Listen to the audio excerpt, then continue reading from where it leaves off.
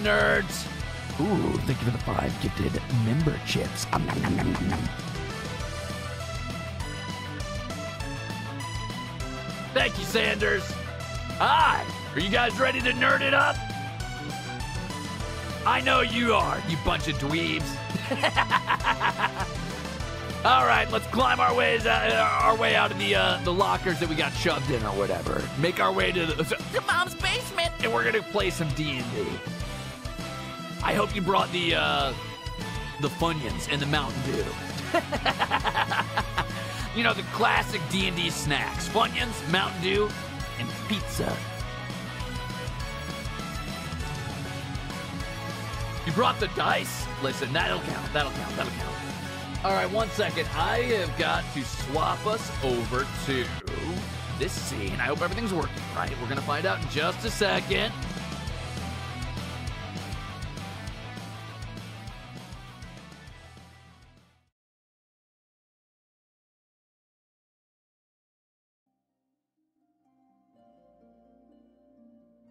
Second.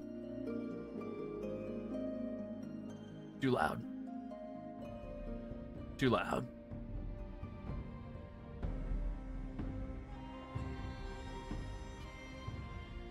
Oh, wait a minute. Yeah, there we go. I think I got it. I think I got it. Okay, okay, okay, okay, okay. Okay, nice. So there are gonna be a couple times where I turn and I face over here, and you're gonna you're gonna see me kind of blank out for a second. Um, don't worry too much about that. That's just me uh, really focusing, okay?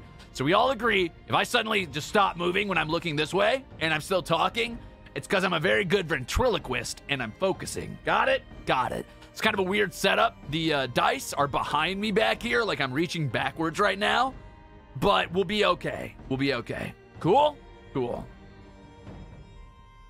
So that way, we have dice, and I can roll dice, and I can explain a couple things to you. So what I'm going to start with is one, I want to give credit where credit is due.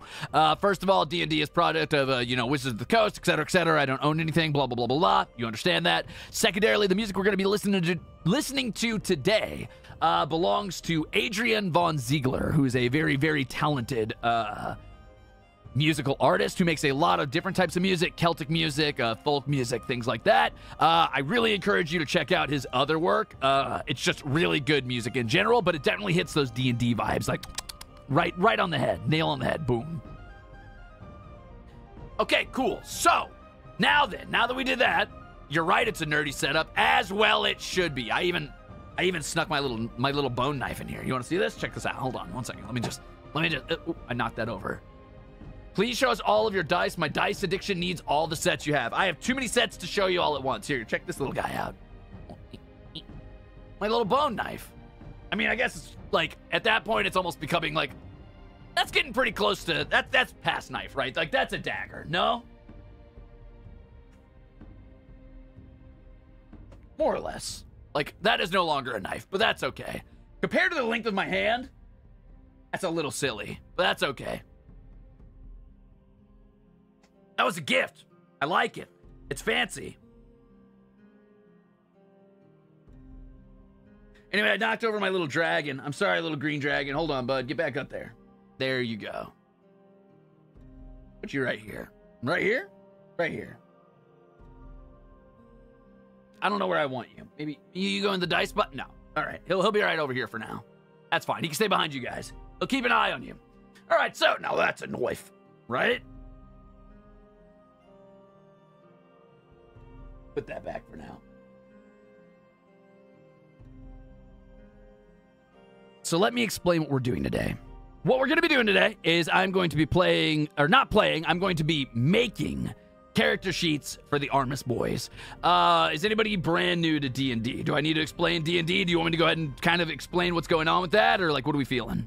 I do like that green dice. It looks like a little, a little gummy. This is Adrian Von Ziegler. I already said that, but thank you. Uh, Tony, did I ever answer your question? Anyway, thank you for the soup. If I did not, I apologize. Oh, you said show me all your dice. That's right. I can't do that. That's right. I know D&D like the back of my hand. Yes, please explain. Okay, let me explain shortly. So the way D&D works is basically, over here, I've got a couple books. Um, you can see this one is the Dungeons Master Dungeon Master's Guide. What that does is it informs. Uh, here, let me start over. Hold on, I got a better way to explain this. Let me turn my music down a bit.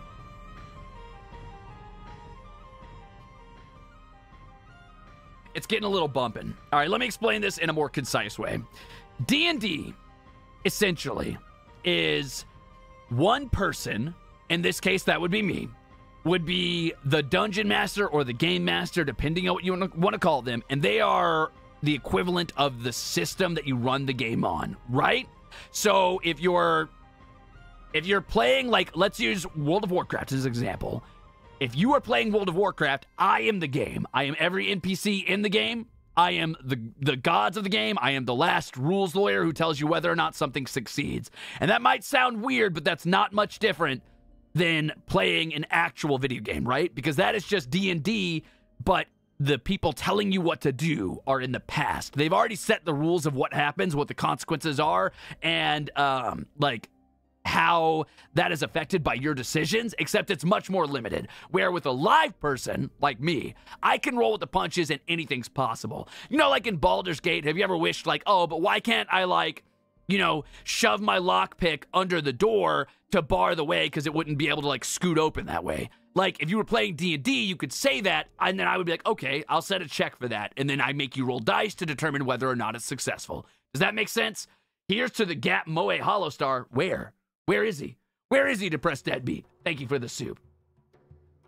So an easy example of this, right, is let's say you want to play D&D. And I've had people ask me how this works before. And they're like, but I don't understand. Like, how do you make, like, the rules? Most of the time, it's on the fly. So an example of that would be, let's say that you want to, uh, uh let's say you want to, um... you want to pickpocket a troll, right? You see that a troll's got like some some shit on its like like a little bag hanging from its little scraggly leather belt, just kind of dangling in the wind. It's making a clinking sound. Do you think there might be something valuable in there? Maybe a key to get out of its uh, get out of its cave, or maybe there's jewelry, or uh, the bones of fallen victims. Blah blah blah blah blah. Right? So I say, okay, roll me a dice, and then what you do is you roll a dice. And in my head, as the dungeon master or the DM or whatever you want to call it, the GM, right? I have set a goal that you have to beat. Now, you only rolled a four here, which might be a little hard to see in that light. Let me turn it a bit. You rolled a four. You probably did not beat that goal. Sometimes I tell you what it is. Sometimes I leave it a mystery, right? Sometimes I'll be like, that's going to be pretty hard. Beat a 15. Sometimes I'm going to say, uh, that doesn't seem very feasible, but you can try and I'll set something in my brain, right? So essentially, the game master or the dungeon master is just the computer that processes what is happening in the game. Does that make sense? Do you understand now? So it's basically anything you want it to be. You could do anything in D&D. The game master is just the program that runs the game. They're also simultaneously the role player, um, the person who is the actor for every other character in the play. Uh, and the story writer and uh, a lot of other things. Being Dungeon Master is kind of hard, but it's a lot of fun. I recommend it. Cool? Got it. You do not see that 3.5 Player's Handbook. Silence. It doesn't exist. Okay, it is there, but that's just a little Easter egg. Where do you find friends to play D&D with? At work. That's where I found them. I asked coworkers if they wanted to play. That was it. Uh, there's no such thing as 3.5, only 5. That's not true. That's not true. Uh, let's see. I'm late. I'm late. You're not that late. You're right on time. I just explained what D&D was. Can I work there? At the time, I was working as a herald of the Celestial Stag, which is to say I was a barista. So, like, yeah, I guess you could. Sure. Um, I have not played. Okay, I'm going to get this out of the way early before questions come in about what RPG systems I have played. I have played 5e, 4e, Pathfinder 2nd Edition, very, very, very minimal Pathfinder 1, and a very small amount of 2nd Edition with my older sister and her friend when I was like a little baby. So that is all I've had. I have read the books and the player's handbooks and the DM's guide for a couple different systems, but I haven't had a chance to like run them or play them. So there you go. That's okay, Elfie. I'll explain it as we go. So, you might be a little confused about this little sheet here, and I'm going to explain that as we get moving. Uh, ignore what I have on the sheet right now. I was just testing my text and what I could do, what I couldn't do. Um, I've played a very minuscule amount of Pathfinder First Edition. I've never touched 3.5. No, uh, I have read the manual. That's about it. I don't know what that means. It's just different editions of D&D as well as a couple other tabletop games is what that means. So Pathfinder is an offshoot of D&D where Dungeons and Dragons is its own thing, right? Right. Cool. I am not using Roll20 for character sheets. I want to go through it uh one at a time and show you that it's really easy to do just on the PC using a PDF or using Clip Studio Paint or using a pen and paper. It's super easy to fill out these sheets. The way you work these sheets is it depends on what you're doing, right? So the first thing you're going to want to do is you pick your character's name, their their species and or race and their class right we're going to be starting at level three because that's where the game gets uh, pretty fleshed out personally i like starting at level one but just for the sake of argument, I'm going to start us at level three. And uh, do I make my own maps? Yes. Uh, well, it depends. It depends. Sometimes, yes. Not all the time. Mm-mm-mm. True. D&D Beyond and Roll20 are both good good assets. Name's the hardest part every time, if you say so. If you say so. Uh, my favorite class to play is probably Rogue, but I've only been a player like four times in D&D, so I don't have a lot of experience with that. I've run many more games than I've played. Uh, I've played a Druid for two sessions. I played a Rogue for three sessions. I've played a Wizard for one session, and I played a Fighter for about five.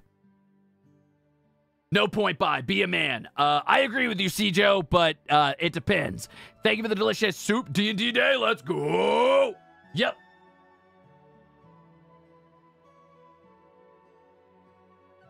I don't mind being a DM. I actually prefer it to playing. I get bored being a player. I feel like I have like endless class changing syndrome where I want to keep swapping my character. I just, I don't find much joy being a player. I'm not going to lie. What we are doing, Shiro, is we're going to make character sheets for all of the ARMIS boys. I'm going to start with somebody simple. So one easy to translate person would probably be Octavio, myself, or Gold Bullet. Jurard's going to be a little tough, but I think I have an idea for it. Let's probably start with Goldbullet. I think Goldbullet's going to translate in a one-to-one, right? Right. Okay.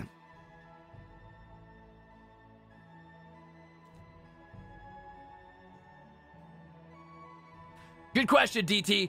Uh, not necessarily. Um, I used I, I I watched all or listened to all of the Adventure Zone for the first season, and I listened to about half of season two of Critical Role, but I kind of fell off. Um, I also really like watching Matthew Colville, Dungeon Master. I think he's probably the best dungeon master out there. If you want to get into being a DM, watch Matthew Colville's videos. He makes it super simple to understand and super fun.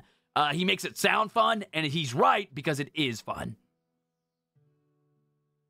Let me get my other glove on real quick before I do this. And we're going to turn around and I'm going to I'm going to show you some of this book, right? 5e Artificer is pretty cool. Well, we're keeping it a player's handbook for today. But Artificer is pretty cool and would fit uh, GB pretty well. I would argue that GB would either be a fighter or a ranger if you're going standard. If you're going with uh, guns in your setting, which personally I never would, uh, artificer, but I typically don't allow artificers if I'm not, if I'm being honest with you. I'm an artificer anti.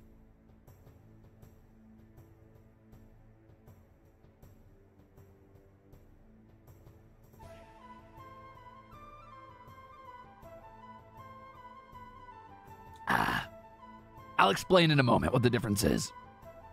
I do feel like I would really, really, really like Brennan Lee Mulligan as well. I want to watch some of his stuff. I feel like he's got to be a really good DM, right?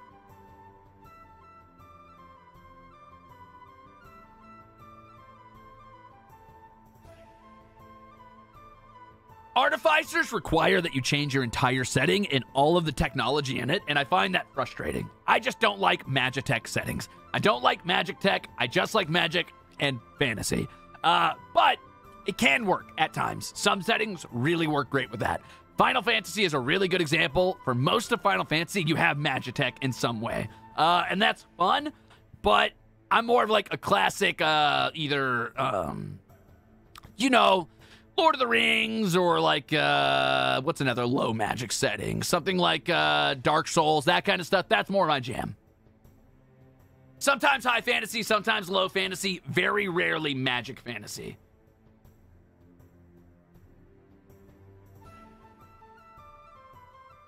All right, let's get started, shall we, gamers? For those of you who are confused, I'm gonna spin around a bit and I'm gonna I'm gonna open this. So this is where you would start as a player, right? I'm gonna hold on. Is there a way I can make this so that it doesn't freak out that I'm turning away? Gassy, Ghastly. Welcome into being a Rusader. Hold on.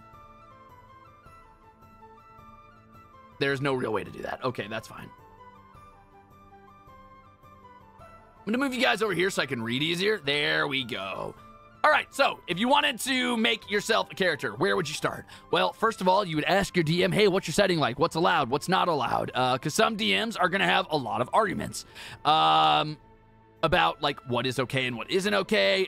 Some, some, for example, if you were asking me, can I be an artificer? I would say you'd have to give me a really good reason I tend to be pretty flexible as a DM. I'll find a way to make it fit, but a lot of DMs might just outright be like, no. Or you might even be playing in a campaign with no magic, and they'd be like, no wizards, no no sorcerers, no warlocks. You play a fighter, a ranger, or a rogue, etc.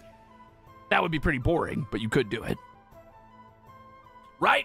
So anyway, you ask your DM, hey, what uh, can I play this character? Um, and then you figure out what you want to play by opening up this little player's handbook here. Uh-oh, hold on. Can I? Uh-oh, no, that's the wrong way. Wait a minute, wait a minute, wait a minute. I'm not gonna lie, my setting, my setup here, pretty fucking weird, but uh, you would open this, which is your player's handbook, and you're gonna, I'm leaning away, fuck, I'm leaning away, shit. Um, and in there, you're gonna turn to a page that shows you, um, uh, thank you for the delicious gifted memberships. You're to turn to the page that gives you your races and your classes. So, for example, in the basic handbook, you've got a couple different things you can choose between. You can be.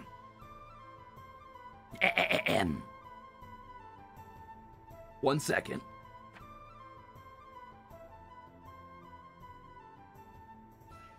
Okay, you've got dwarves, elves, gnomes, tieflings, halflings, humans, uh, dragonborn, and I think that's it. And then you got different variants on those, right? So you got like uh if you're a gnome, you probably get a plus to intelligence because they're very smart. But what if you're what if you want to be a different variety of gnome, right? So you can pick something like deep gnome, which are like these uh, little little gnomes that live deep underground, and they're very good at uh, mechanical work specifically, but they're kind of uh, lacking in um, emotional connection. Does that make sense? Cool. Easy peasy. So you pick your race, then you pick your class, and then that is going to determine a few of your minor stats, but mostly it's going to be about your class, right? Like race will determine some very basic stuff about you and will help inform your role play if you're into role playing.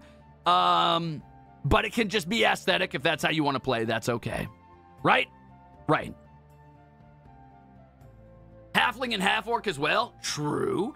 True. All right, let's open something here. Let's see. I'll open you to the tiefling page and explain what I mean by that.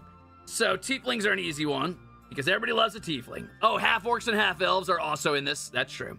Tieflings are your little uh, demon people. You've probably seen the blue one from Critical Role of Critical Role fame. Yeah, uh, Jester. But they are people that have somewhere in their lineage uh, demon blood in them. So they're very, uh, very popular, especially with the new era of D&D players, as your original character do not steal. Tieflings naturally come with a couple things. One, they get a bonus to their intelligence, which is pretty cool. They're they tend to be pretty smart and they get a big bonus to their charisma. They're charming like most demons. They're good at making deals, they're good at talking. Uh, however, this is counteracted by tieflings having demon blood, which, depending on your setting, is very bad, and they will probably be viewed with some level of prejudice, depending on what your setting is, etc., etc., etc. Obviously, it's all up to your DM. They might have a completely homogenized setting where everybody gets along and everything's fine, and there's not like this big aggressive like hatred uh, between people, or they might have a setting where you know religion's very important and demons are viewed very poorly.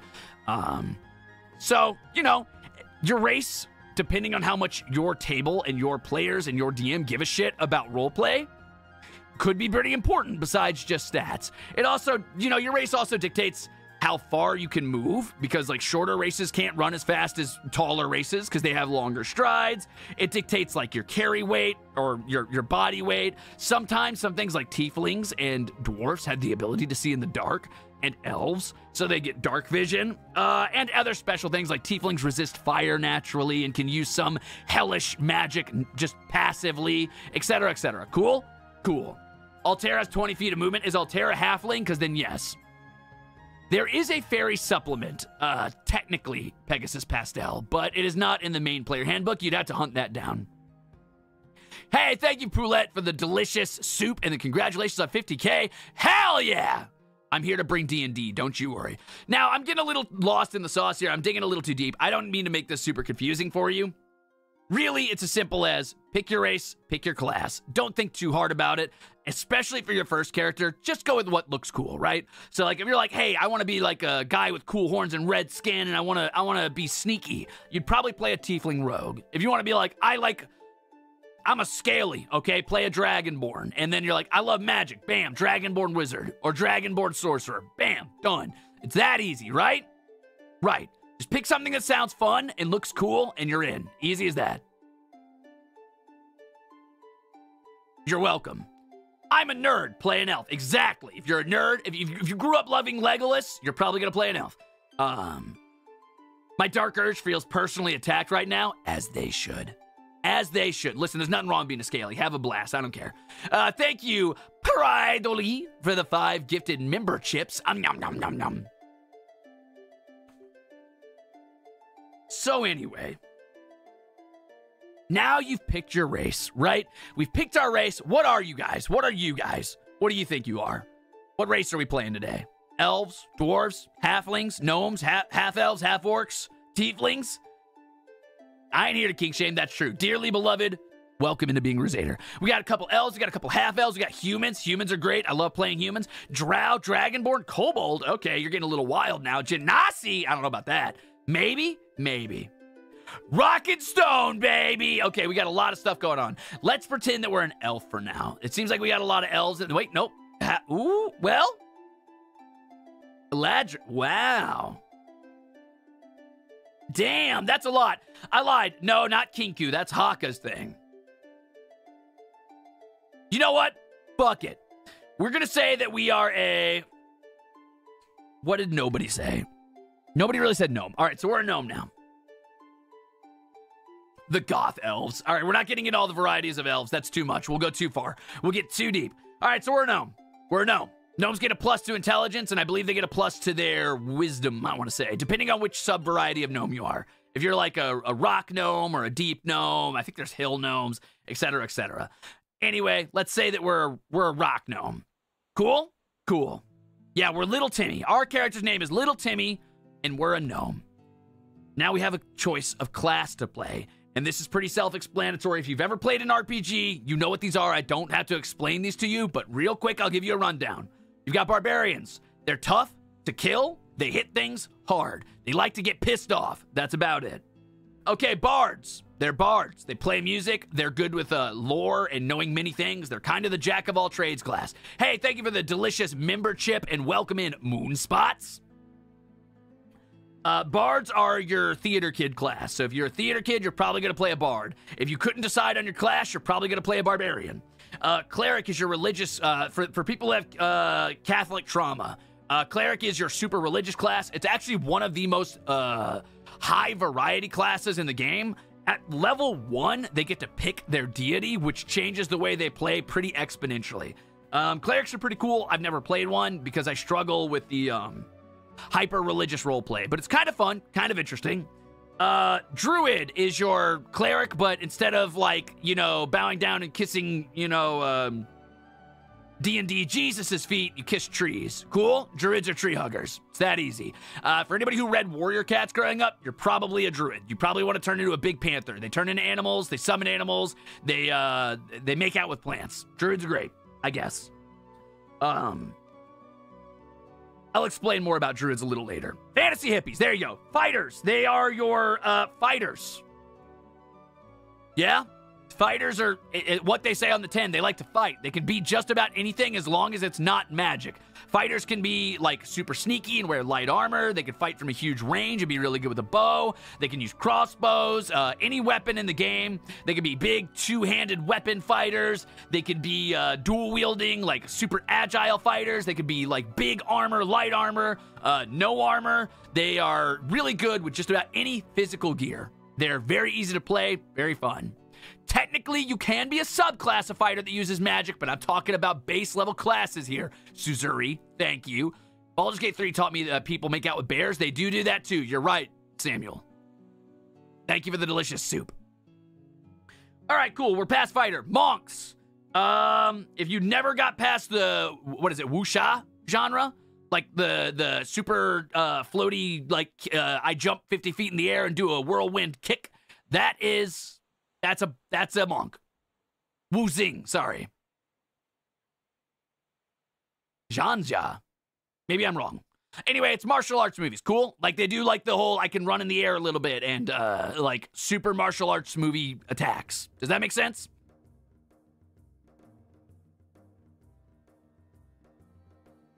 Oh, so I was right the first time I said it. Okay, okay, cool, cool, cool, cool. No, we're not going to ban monks. Monks are fine. They're a little underpowered in the regular D&D man, uh, handbook, but they're still fun. They're interesting. Um, the only issue I have with monks is that they are so intrinsically tied to a culture that it can make it hard to blend them into multiple cultures, and that could be a problem. The same way like clerics can sometimes be a problem blending in, but you can kind of make it work out. You can figure it out. Yeah, they have kind of a vaguely Shaolin vibe to them. Uh, but anyway, that's okay.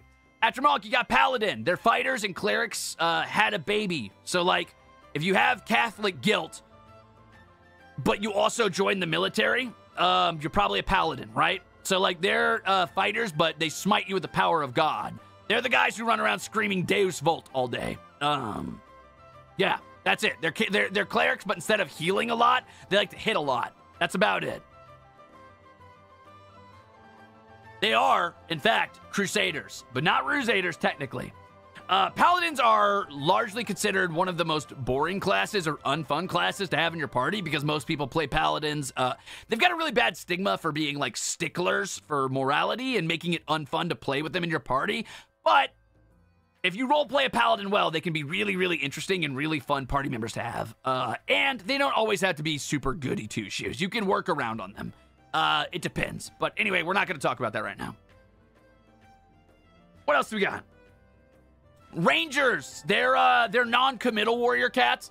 They're the kids who didn't like want to get down on all fours and play warrior cats, but they did watch the druid kids who did get down on all fours and play warrior cats from a distance and think, "Damn, I wish I had the balls to do that." Uh, Rangers are good with bows. They usually have animal pets. Uh, they do just a little bit of magic. Uh, they could sometimes be good in melee, but not really. They're kind of trying to do too many things at once. They're uh, they are simultaneously like Aragorn and the pet class and uh, magic users and fighters and range fighters and en- environmentalists and survivalists, and it all doesn't really blend together super well. But they tried their best. Um, I think they're really, really, really flavorful, but poorly balanced. At least in the base handbook, they fixed it later. Shout out to all the. Whoa, hold on, wait a minute there. Thank you for the delicious soup, Foster. Goblin Barbarian's a ton of fun. Being a three foot tall ball of rage going toe to toe with a dragon is peak entertainment. Thank you, Rhea Gracewood, for the congrats on the 50k and the delicious soup. Ooh, thank you, Diana, for the five. Uh, whoa, hold on. For the five gifted memberships. I almost said Krim Zupas. Wild. Um, what else was I going to say? Oh, rogues. Uh, rogues are for everybody whose backstory is my parents were killed by bandits. I'm my name's Ebony Ravenway Darkness Dementia. I've got a darkness inside of me. There's two wolves, and both of them shop at Hot Topic. Uh, so that's rogues. If you're that, then you're a rogue. Okay, cool. They're the sneaky class. That's about it. Um, next is sorcerer. Sorcerers are wizards who didn't want to go to college. Sorcerers are your weird uncle who, for some reason, figured out a few magic tricks with cards and seems to be immune to bad luck, but doesn't actually know what the fuck he's talking about. Uh, sorcerers are the trust fund babies of magic, where where wizards are all like very learned and like gained their skills through study and careful like practice of magic. Sorcerers were just gifted with magic at birth, and instead of using intelligence, use raw charisma to wield their magic. Basically, they're the rich boys of the magical world. That's true, or Orendogo. Good point. Orendago. Doggo? You know what? You understand what I'm saying. Thank you for the soup. Yeah, my dad works at the magic store, and he says I'm allowed to do magic. D&D does give them bloodlines, actually. You can do a draconic bloodline or a demon bloodline. I believe there's a fey bloodline. Uh, and then later they added more and uh, extra expansions like shadow bloodline, stuff like that. Uh, yes, I do think Jurard would be a sorcerer. Spoiler alert, that's probably what we're going to do for Jurard. But we'll see. Um, next is Warlock. If sorcerers were born into magic, warlocks are the seedy, like back alley people who did a quick drug deal for magic, right? Like they they go to their uh, they go to their magic dealer, show up, throw them a quick fifty, you know, and say, hey, can I buy a little bit of magic spells? And whoever's dealing them the magic says, yup, sure, here you go, bud. They just drop them a little gram. They're like, here's a gram of magic. Don't don't spit it all in one place. All right, you come back. Remember who's your sugar daddy for magic, all right? And that's it. Uh, that's how warlocks work. They weren't born into it, but they do make deals into it, right? So, like, if a sorcerer is born using magic, a warlock usually finds a demon or a dragon or or a god or something significantly powerful and says, "Hey, I'll sell my soul to you or whatever. I'll give you my firstborn, but you give me magic." And they say, "Okay." And then warlocks are locked in with that entity for until their deal is done. That makes sense? Great. Last is wizards. Wizards are what they say on the hat. They are they're fucking wizards, dude. They, they study magic, they use magic. They're, they're, they're the classic old dude who's been in a college for 50 years and uh, never touched grass once in their life, but they know how to summon grass. Shadow Wizard Money Gang. We love casting spells.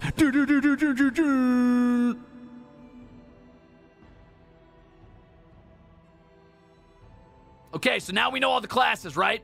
So we are a rock gnome and let's say, for the sake of argument, we're going to be a fighter, and I'll explain how that goes a little later. You know what? No, we're done with that. I'm not explaining anything else. We're going to get right into making character sheets. We've been doing this for half an hour already, and I just explained the basics of how to start making a character. Now we're going to make a character, okay? Are you bearing with me? Are we rocking? Who do you want to start with? Do you want to start with, uh, I already said Barge. Do you want to start with Goldbullet or Octavio? Who we feeling? Let me do a poll, actually.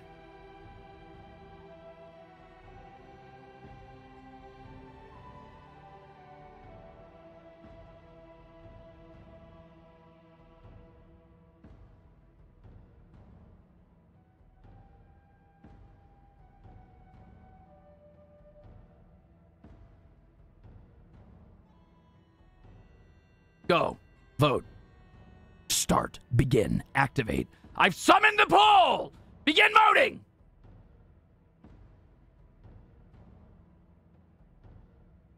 Okay, looks like actually it's a pretty close race with 60% currently on Goldie. That must mean we've got a 40% over there on Doc Ock. Uh, thank you for the delicious uh, soup. Warlocks are the epitome of the kid who fell for the old, hey kid, you want to learn how to disintegrate someone? Trick. Exactly. 100%.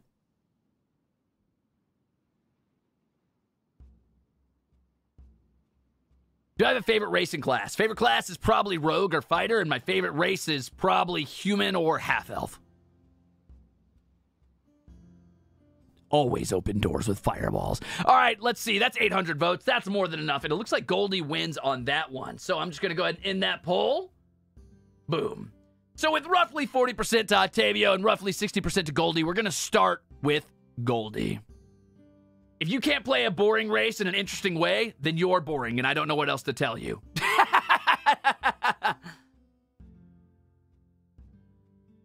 I am not a half elf. How dare you? I'm a totally normal, average human with a totally normal, average human lifespan. All right, so we're gonna start with Goldie. Um, how do I do this in a way that makes sense? Okay. Oh, okay. There we go. So I'm not the one playing this. That's a lie. So that was a lie. Uh, gold bullet. Uh, we're gonna skip backgrounds for now. We'll talk about that a little later. And we gotta decide: is Goldbullet gonna be a fighter or is Goldbullet gonna be a ranger? Hey, cancel that. Don't do that. You know what? Just delete. Delete. Go away. Leave it on O. That's the O. You know, you're right. For the sake of argument, let's go ahead and say Goldbullet is going to be a Ranger at level 3. Ranger, 3. Done. Uh, obviously, Goldbullet's character is not named Crimzon Ruze. Uh, Goldbullet's character is going to be named uh, Goldilocks. Uh, the Golden. Done. Goldilocks the Golden. What race is Goldbullet? Let me think. Your classic fantasy races for Goldbullet. That's a little tough. Uh, Gold Bulleta? Oh, that's pretty good. Gold Bulleta. Oh, yeah. Now we're cooking. Very well done. Very well done. Very well done. I love that. I love that. I love that. All right, so let's see. Let me think. Goldbullet. Gold Bullet. Goldbullet's got long hair, spends a lot of time out in the wild, uh, just waiting around, you know, sniffing sand or whatever. Hmm. Maybe a wood elf, but a sand elf in this case? Could I say sand elf and make that, like, make sense? I guess so. Why elf? Because hair. Actually, I guess Goldbullet's not, like, immortal or anything, though. Goldbullet ages at a relatively average pace. Hmm. I could do Aarakocra, which are like eagle people. A Gloomstalker Ranger. Well, the thing is, Racelay, I'm going with standard PHB to keep it simple for people. I'm trying to make this as approachable as possible to a brand new player. So I'm trying to keep this to standard uh, race class combos. Uh, we'll talk about um, expansions and stuff like that a little further along. Aarakocra's not in PHB, so you're right. I can't really do Eagle people, huh? Let's go ahead and say Goldbullet would be. Goldbullet would be. Hmm. What if? Okay, hold on. Bear with me. What if we work backwards? Right? Let's say we work from stats and then we determine uh what uh race class combo that's going to end up based on stats. How do you feel about that? Thanks for the fun info on class of D&D characters. You made them interesting and hilarious, giving awesome examples of characters made sense. Hey, Thank you, Sassy, and thank you for the delicious soup. All right, so the way you do uh, stats in D&D varies. Most modern tables are going to do it this way. They're going to give you a certain pool of points, which I believe is 27, and they're going to say split those up how you like. Cool? Cool. So, wait, no, 27's too low. What is the point? Hmm. I'm trying to remember what the base point is.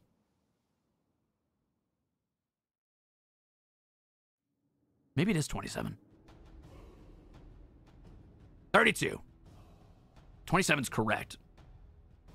Oh, right. Okay, so it's 27, but all stats start at 10. Okay.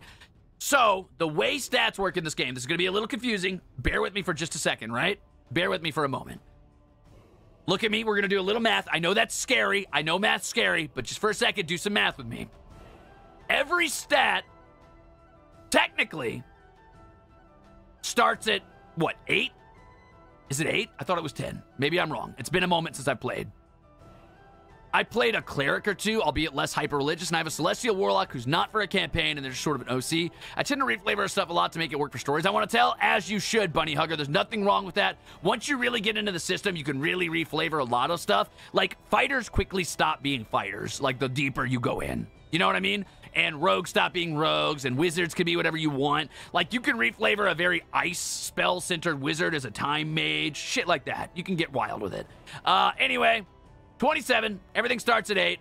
Um, well, thank you.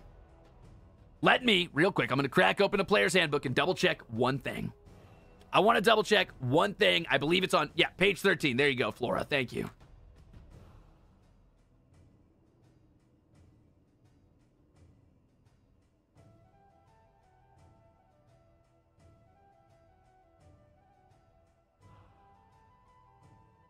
You're right. It is 27. Okay, good. So I was right about that. I remember that correctly.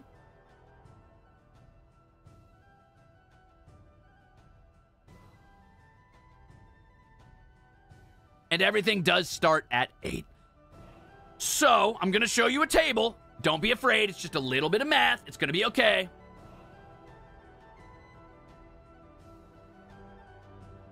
This little table here up at the uh, top left corner. See that? That determines how stats work. It's not a big deal. All you really need to know is that for the all intents and purposes, most stats baseline is based off of your average relative relatively healthy human, right? So if you were just a regular human, let's say human farmer, you probably have a 10 in everything, which means you get a plus zero and a minus zero to everything. Does that make sense? That's as basic as it gets. So, like someone who is your average level of strength, which I mean by today's standards is probably a little lower, but by medieval standards, an averagely strong person, right? So, how that affects the game. Let's say you see how on the character sheet over here, how it says strength at the top left. You see that? See how it says that? Let's pretend you have a 10 in strength. So that means you get a plus zero on every roll about strength. So if I wanted to push a boulder and my DM said, hey, uh, you could try to push that boulder, but you're going to have to roll me a d20. And I said, okay, I'll roll you a d20. Whatever I roll is that number. There is no plus, no minus. I just rolled a 14. That's how it is.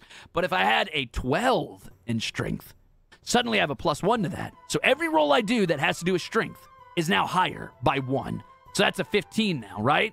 If I had an 18 in strength, that's plus three. So now that's a 17. You can see how important stats start to get the further you go. So it seems completely random, right? When I first described D&D, you might be like, oh, well, it's all random. You don't get to influence it all. But that's not true. Based on how your character is built, what they're good at, and what their skills are, you get higher and higher stats, right? Sorry, 18's a plus four. You're right, because 20's plus five. Right? Yes, we're using 5e right now. So you understand the basis of D&D, right? You understand how it works. You didn't miss a lot, Oro. We're just now getting ready to start making Goldbullet. Thank you for the delicious memberships, Ray. Yum! Memberships! Yes, kinda. No, you don't understand. It's okay. It's rel- uh, think of it this way. It's the reality is it shouldn't be done this way. The whole plus minus system is a little silly. It's a little archaic. Uh, we should probably get rid of the like 1 through 20 stats and just make it so that you get your pluses or your minuses. But for now, we're going to rock with the system because that's what 5e is. Anytime you're at 10, you don't get any bonuses or negatives. If you go too lower or too higher, you get pluses, right? So 10 and 11 is plus nothing. That means that 12 and 13 is plus 1. 14, 15 is plus 2. Every time you stack up by 2, you get a higher plus. That's not super hard, super simple to remember. And if you need to, you can look up the table. And on that note, if you go further down, let's say you have an 8 or a 9 in a stat, right? Like maybe you're pretty weak. You get a negative. So where I rolled that 14 on pushing a boulder, suddenly that's a 13. If I'm very weak, maybe I have like a 6 or a 7. I get a negative 2 to pushing things. Pretty brutal. Pretty rough. Got it? Got it. So, point buy works by assuming all of your stats start at 8, meaning you have a negative 1 in every stat.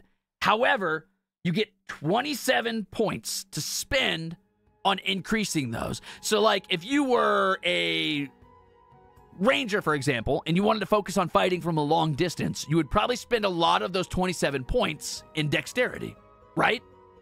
because you want to be able to aim well. You want to be able to land your hits. You want to be able to fight from a distance. Where if you were a fighter and you wanted to be up front and do a lot of damage, you'd probably spend a lot in strength and a little bit in constitution so you could take a few hits. I could see GB as a tabaxi cleric or a ranger. I could see that for sure, Tamser. Thank you for the soup. True. Point buy, you could technically only go up to 15. But you get bonuses for your race, right? So, like, if GB was an elf, he'd get like a plus two to his dexterity. Does that make sense?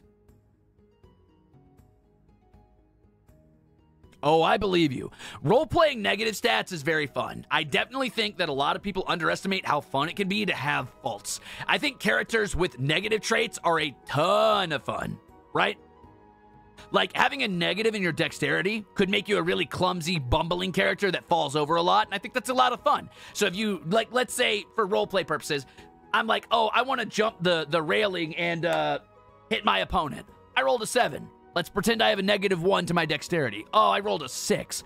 Instead of just saying I failed and being bitter and grumpy about that, maybe I want to role play it. And I'm like, oh, I go to like leap over the railing, and uh, instead I, I my robe catches in front of me on my on my shoe. I step onto it, stretch the cloth, I tumble hips over head directly onto the ground and land on my ass, and my character grumbles or whatever. You know what I mean? Like you can make it fun and goofy instead of just being mad that you failed to roll. You know what I mean? Being perfect and having super high stats and everything, not very fun. Kind of boring. I mean, unless that's your way of having fun, which, whatever, go for it. Heyo, Mika, or Micah. Negative two to wisdom raised by a cult? Yeah. So wisdom and intelligence are interesting because those can be role played in a lot of ways, either higher or lower. A negative wisdom can be role played as like lacking worldly knowledge, but it can also be role played as like raw naivete or like uh, there's a lot of different ways you can go with it and that's pretty fun. Hey thank you for the delicious uh, gifted member chips and thank you for the soup. Int 7 bugbear cleric who thinks he's an orc due to his background. That's super fun. That's super fun. So do the stats affect any roll yes. Not there are some very rare rolls that are raw, right? Like just a raw roll. Like if you said, uh, for example, I would like to beseech like my God, to help me. I might, if I was feeling generous as a DM, or if it was narratively impactful and interesting, I might say, sure, roll for it. But I can't think of a stat that would go into that. Maybe religion, but really, I wouldn't worry about it. I would probably say just roll, and I will tell you if you did it or not. In my head, I might say, okay, they have to beat an 18, no pluses, no minuses, that kind of thing, right? But there's no stat necessarily associated with that. No, I don't mean cleric's divine intervention. I think divine intervention's a little silly, but I'll talk about that some other time. Right now, we're going to stick to the basics. I'm going to describe one other way to get your stats. Instead of doing point buy, which I think is fun, I prefer rolling for stats. There's a very there's a very strict stat roll mechanic, which used to be the old school way of doing it, where you would just roll and what you got is what you got, right? So like, okay, bam, uh, suddenly Goldbullet would have an 8 in strength, and he would just roll straight down. And that's brutal. That is a very, very, very hard way to play the game, because you might end up with a really negative stat and something you really need, right? So, like, oh no, I rolled a 12. I only have a 12 in dexterity, but that's my most important stat. Damn, that's brutal. That's, that's tough. Um, but a softer way of doing rolling, and what I've seen, is the 4d6 method where you remove lesser, which is you roll four six sided dice and then you take the lowest stat and get rid of it, right? Easy peasy. Not bad at all. So, in the example of that, I would grab a six sided dice, a six sided dice. Hold on.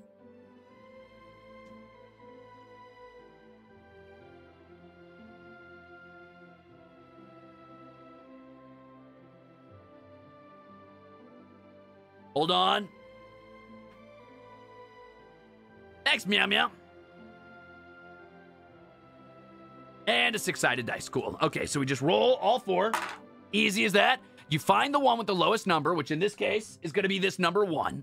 And I take that out. So instead of having like just a raw eight in strength, GB would now have uh, a 13, which is actually pretty all right. That's not bad. That means he has a what? Plus one every strength roll, plus one every physical melee damage hit he does. Pretty good. Pretty okay for a ranger, right? Am I a dice goblin? Not a, not necessarily, but I do like dice, yes. Hey, thank you, Alias Listed, for the delicious soup. Am I going to reference the Bounty Hunter licensed hunt stats or just go pure rolls? I will not be rolling for stats here because I think that while that is very cool, we are trying to build a true to the character, you know, version. So I'm probably going to do point buy here. But I wanted to show you the 4d6 take the lowest and get rid of it one because I really, really like it.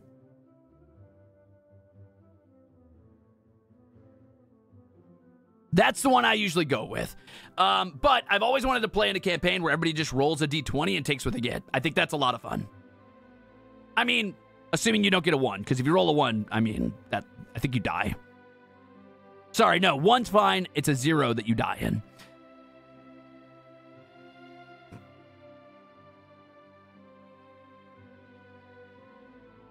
So now you understand how stats work, right? You understand how you get your stats?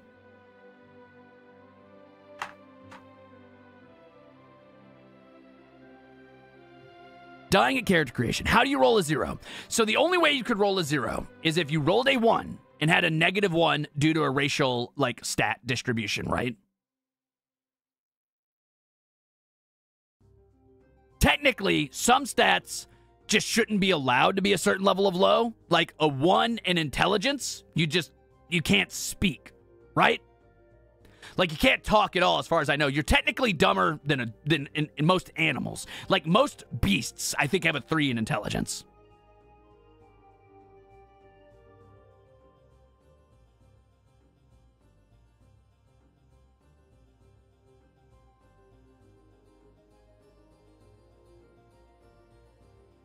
It would be funny. Now, as far as modern D&D goes, there is a very low chance you'll ever have a 1 in any stat because almost no table is ever going to do a raw roll system. They will do the 4d6, take the lowest, and get rid of it. And most DMs are generous enough to even let you put it where you want it, right?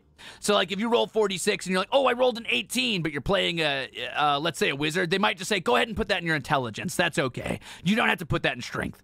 Personally, I would love to just put that in strength and be a buff wizard. That'd be funny as fuck. But, you know. Up to you. See you later, Kiko.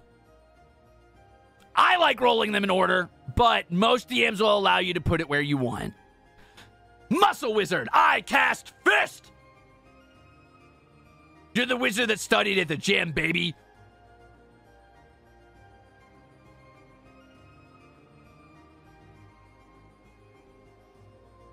War Mage, oh yeah. All right, so let's assume we're doing point buy. We're going to assume all stats start at 8, and we have 27 points to work with. We're going to build out GB. I think GB's, we're going to start at highest and go lowest. I think GB's highest stat has to be dexterity, right? He is the sniper. No.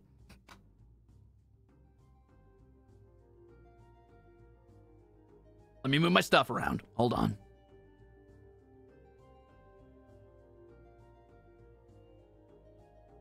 Where do you study? At the gym. Welcome, Untitled One. Hi! Dex and Riz? Does GB have Riz? Are you sure? I'm kidding, I'm kidding. That's not nice. So, the big box here that you see. Oh, wait, my mouse isn't showing up. Why isn't my mouse showing up? Now is it? Nope, sure is it. Okay, I'm going to show you by clicking then. The box you see at the top is for the raw number, right? So we're going to say that's a 15. I'm going to buy 15 points there. And then the box underneath that is where you put the modifier. Like the 15, for example, would be plus two in every roll. Does that make sense? We're going to keep it simple and we are going to do the 15, 14, 13, 12, 10, 8 method, unless I feel like there should be something else that's higher than that. I think personally, GB's next highest is probably going to be um, well, he is a CQC specialist as well. He does like close quarters combat. 15 goes in the small box? I disagree. I will never do that. How dare you? Silly sphere. So you have a stat. Uh, let me explain real quick, one more time, real fast. I'm going to keep this super simple and skip out on everything else I've described. Your stat for any of these six is a number from 0 to 20, and that number determines your plus or minus to every roll using that stat, right? So, for example, if you have a 15 or if you have a uh, 14, a 14 or a 15, you get a plus 2 to that stat no matter what, right? Right.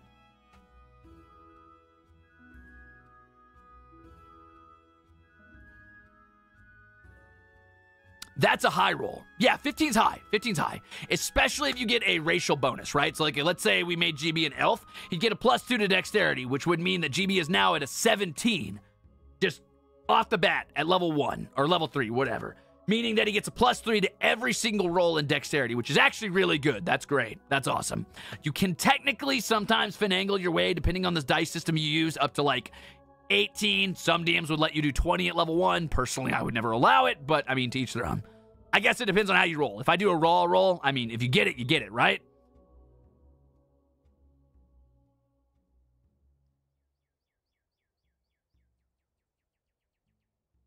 I would say GB would have good wisdom. I agree. Well, I already talked about that polar versatility. I like rolling. I think point buy makes more sense for if you're trying to keep a balanced game and you have players who are not going to have the um, integrity to role play their character without a desire to win. I think a lot of people have a misconception that D&D is a game where you are playing against the dungeon master or the game master or whatever.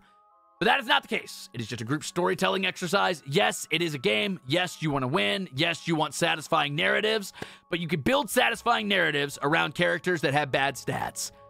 However, especially for new players, it could feel really bad if you do like let's say dice roll and you roll a bunch of fucking 8s and 10s and somebody else at the table has like 18, 16, 15, 20, 18, and 10, right?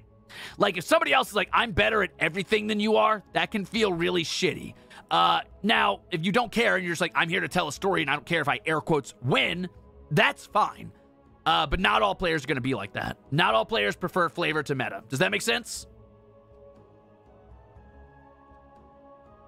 Siffy, if your DMs are trying to win, I recommend you stop playing with that DM. I recommend you move on to a new game because the DM will win. Does that make sense? You cannot play against the DM. The DM is God. If the DM's not trying to tell a story and not treating your party as integral to the plot, don't play with that DM. Because that DM could just say, a level 20 dragon flies down from the sky and lights you on fire, you die. That's really not fun. That is not playing with any level of integrity. Don't do that. Don't play with that DM.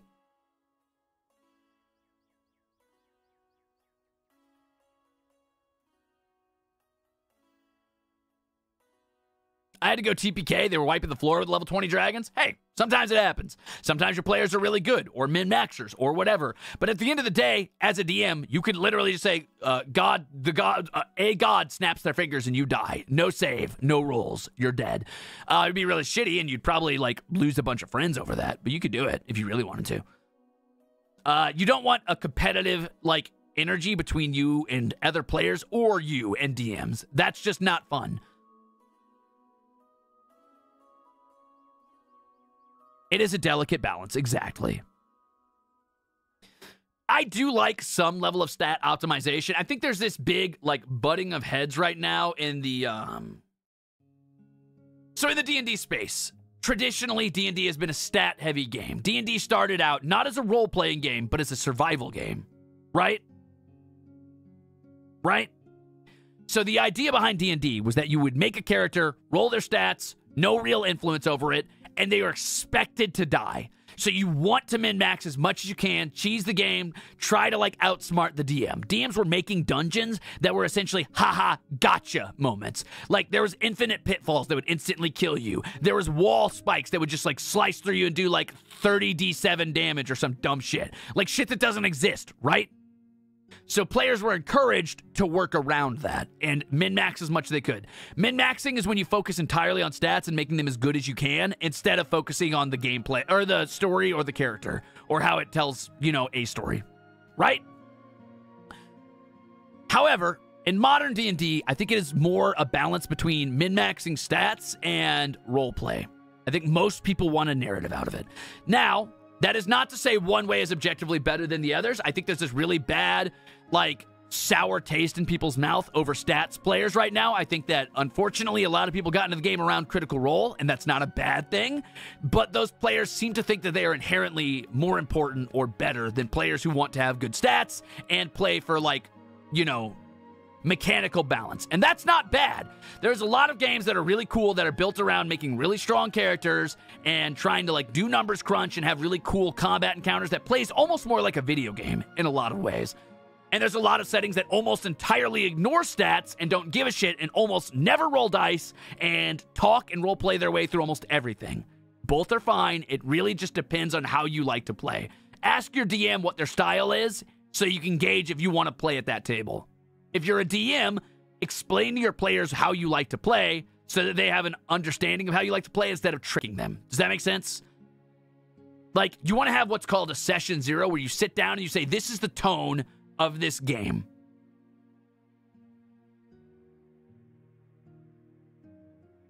So instead of like going straight into session one and just playing the game, and somebody like at the table, you know, like fucking Goldbullet comes to the table with a fully fleshed out, cool character with 10 pages of backstory and like cool faults and flaws and, uh, you know, that kind of stuff. If that happens, but you're playing a fully optimized game and you drop in like a level 12 dragon at level one and kill him, he's going to feel short ended. He's going to feel like, oh, I never got to do any narrative like with this character at all. None of the shit I put into this mattered. And it sucks that he just died for no reason with no like actual relevance to him because you never had a session zero to sit down and say, hey, dude, this is how I like to play.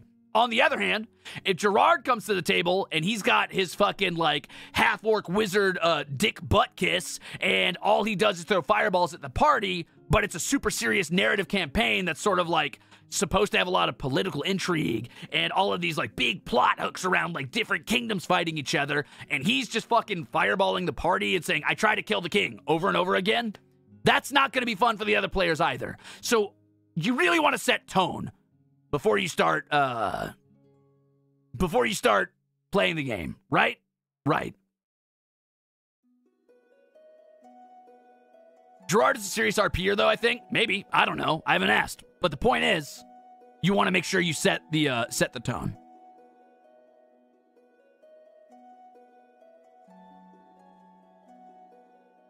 What is the tone for this one? Um the tone here is super basic, right? Okay, I believe in you, Octavio. I'm ready. I'm ready. The tone here is just making a character that sort of suits the um fantasy equivalent of the Armis Boys. There's no real tone. Also, hi Octavio, welcome in. You don't need to worry about tone here. We're not min-maxing. We're just doing a basic style. So I'm going to say that uh, GB has a 15 in dexterity. That means that I have now spent nine of my 27 points. So I only have 18 points left to spend. So let's start spending, shall we? Um, I'm going to say we're going to do the old 15, 14, 13, 12, 10 method. So we're going to put the 14 in, let's say, wisdom.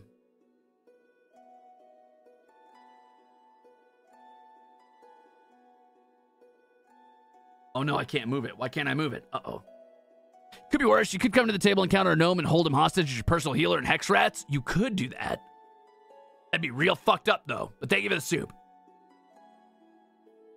Taking these stats into Baldur's Gate 3. I okay, go make your go make the Armis Boys in Baldur's Gate 3. You won't. There's not enough mods to make my hair in Baldur's Gate 3. I've tried. Oh, I hope so too, CJ. CJ? CJo? Holy shit. CJ Crooks? Oh no. CJo Crooks, I hope people do too, honestly. I, I think more people should play D&D. I definitely think more people should be DMs and not be afraid of it. It's okay to fuck up. Nobody thinks you're gonna be Matthew Colville or Matthew Mercer right off the bat, right? Like, that's okay. You don't have to be. Everybody's gonna, like, learn as they go. I started DMing for a group of friends, and one of them managed to get a 21 AC as a paladin. I have a golden die specifically for him that more often than not rolls nat 20, so I let his high AC slide. That's fucked up, but I kind of love that, Sanders. Thank you for the soup. Oh no, it's not moving. Oh shit. Move! There we go.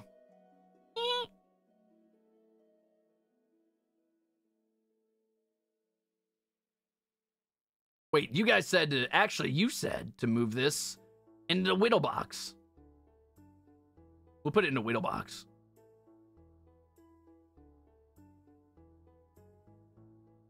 Oh, I fucked up. I can't grab it now. Ah! Uh-oh.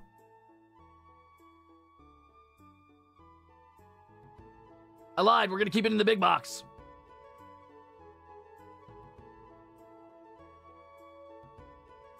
Okay, so next we're going to do a 13 because we're doing the 15, 14, 13, 12. Again, we're not rolling dice on this one. We're just buying, if that makes sense, right? So I think his next highest stat's probably going to be strength so that he can fight in melee because he is a CQC specialist, right? Good night. Can't wait to watch the VOD tomorrow. Thanks for, oh, well, thank you, Ray, and thank you for all of the delicious soup and member chips. I can't wait to mix them together to make some sort of weird, uh, grainy slushy. Num num num num num num num.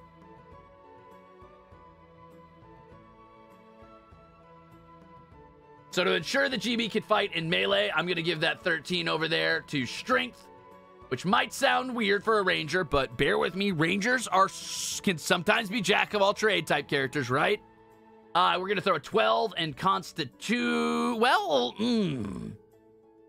Let's go ahead and say we're going to do 12 in charisma because GB says they, uh, uh, he has high riz, right? And then we'll throw the 11 in constitution.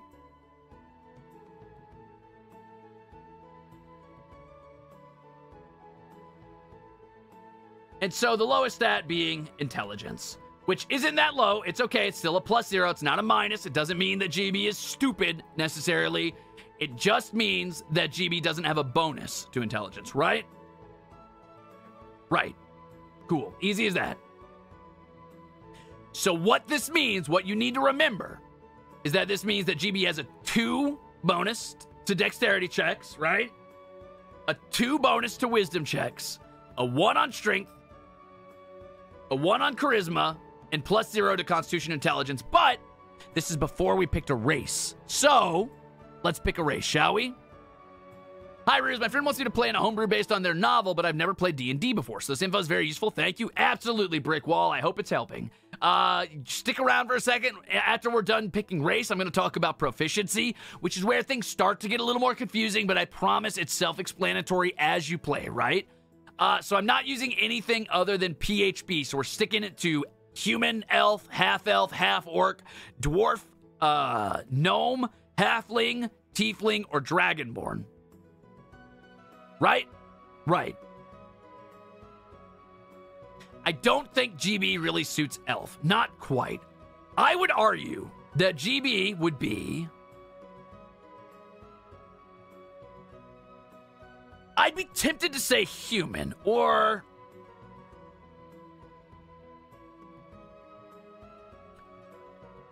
Honestly, I could see a half orc with really great hair. And a plus strength, which would mean make sense for the CQC side. Hmm. Thanks, Matilda. Honestly, I feel like half orc, right? A half orc who's a really good chef and has really great hair? Hmm. Very tall, too, because orcs are huge. All right, let's break GB down a bit, right? GB's got great hair. GB's very tall. GB's a CQC specialist and the sniper of Armis. GB's also our cook. Hmm. And sort of a group mom, I guess. I could see elves are tall, orcs are tall. Could be a human, just a very tall human, I guess.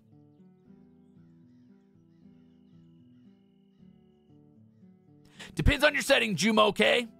So, some settings, yes, some settings have fantasy racism against elves or fantasy racism against dwarves. Most settings are going to have some level of conflict against some species or some race because Unfortunately, especially in a medieval setting, um, even if you didn't have that, and let's say everybody was humans, they're still going to kill each other over anything because they're people are douchebags and sentient creatures like to kill each other for stuff.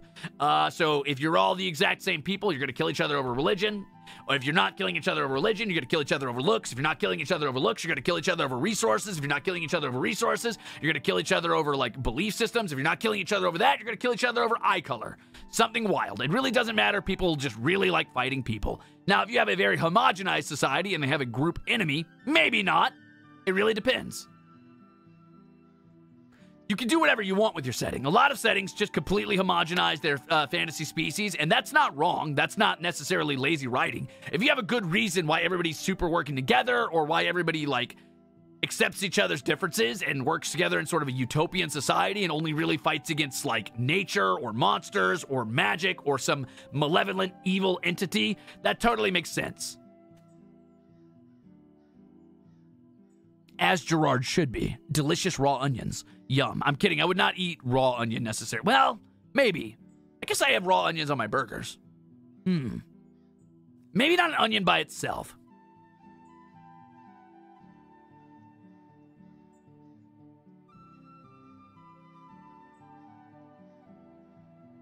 Ooh, now caramelized onions go hard. Mm, mm,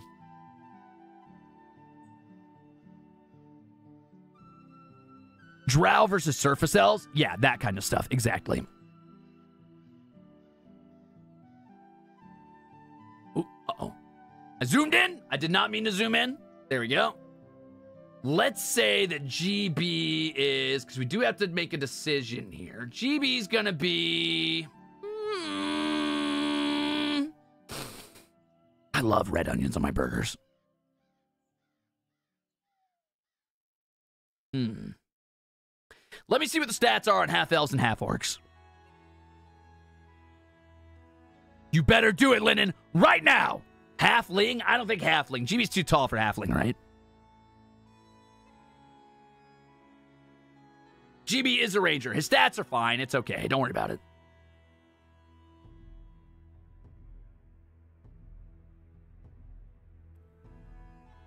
Hold on. I'm just taking a look at their stats. Mm-mm-mm.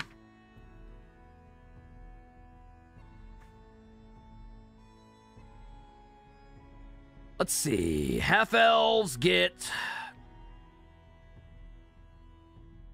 a bonus to charisma. Half orcs get a bonus to strength and constitution. Hmm. Hmm. Half orcs on average are well over six feet tall. Half elves on average are five to six feet tall. Hmm.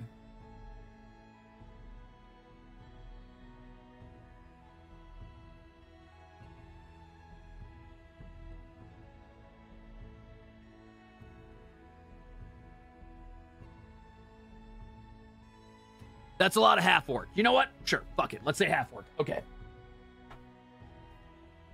So we're gonna do half orc. Hold on. A very handsome half orc. Hell yeah.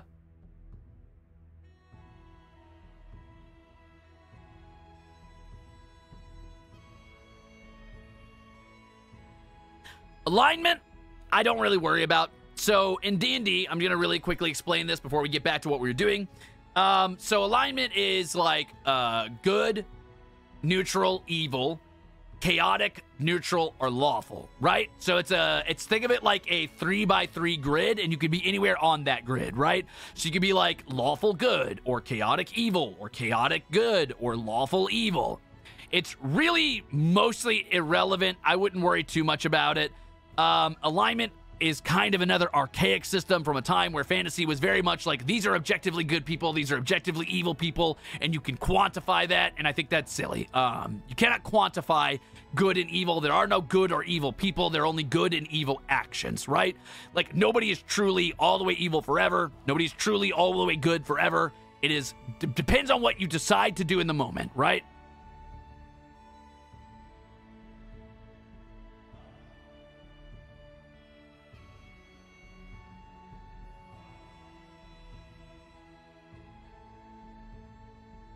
If you treat it as reputation, that is very fun. That's true. If you're if you treat it as a fame mechanic, right? Like how the people see you, that's interesting.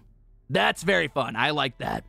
What about spells that affect alignment, protection against evil? So that does matter, but usually only against monsters that are like good or evil. So like demons are always evil, devils are always evil, etc., etc., etc. However, I don't even like doing that. I find that if demons or devils are sentient enough to talk and make deals, then they are sentient enough to do good or bad things depending on what's going on.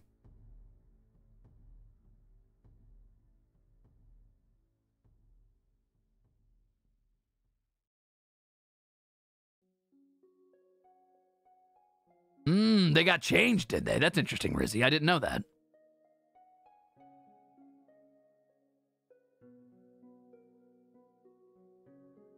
Hmm.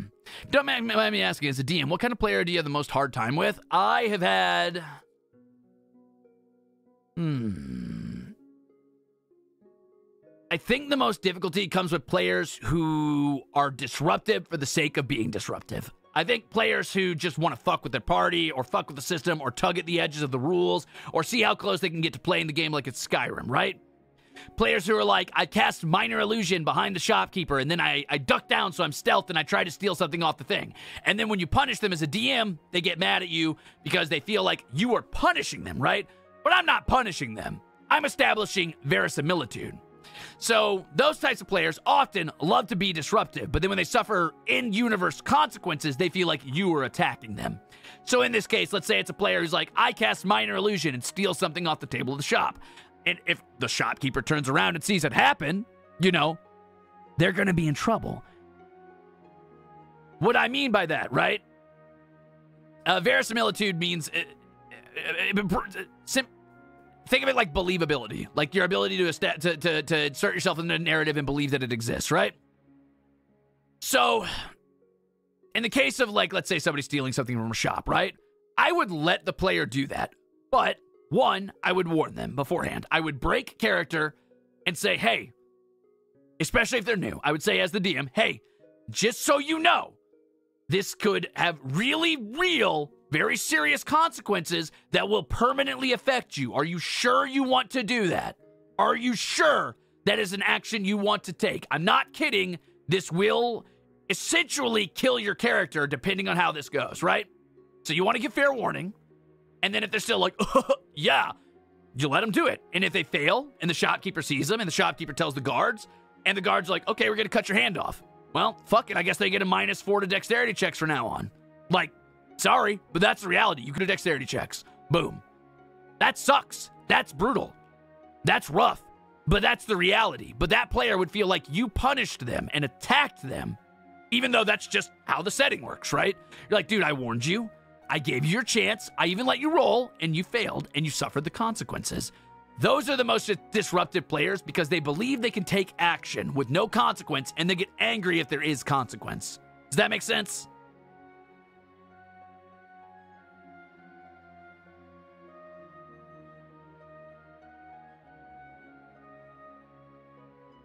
Do I always allow players to do what they want? Within reason, yeah. I mean, if a player says, hey, can I lift that building? I'll say, you can try. Give it a shot. Will I set an impossible goal? Yeah. Sometimes I'll say, yeah, you could try, but you're going to have to beat a 40. And I know they can only have like a 25 max. It's just how it is. But I'll let them try. Hey, what's up, Flayon and Maki Runes? Welcome in. How's it going, gamers? What are we up to? What'd you get done today?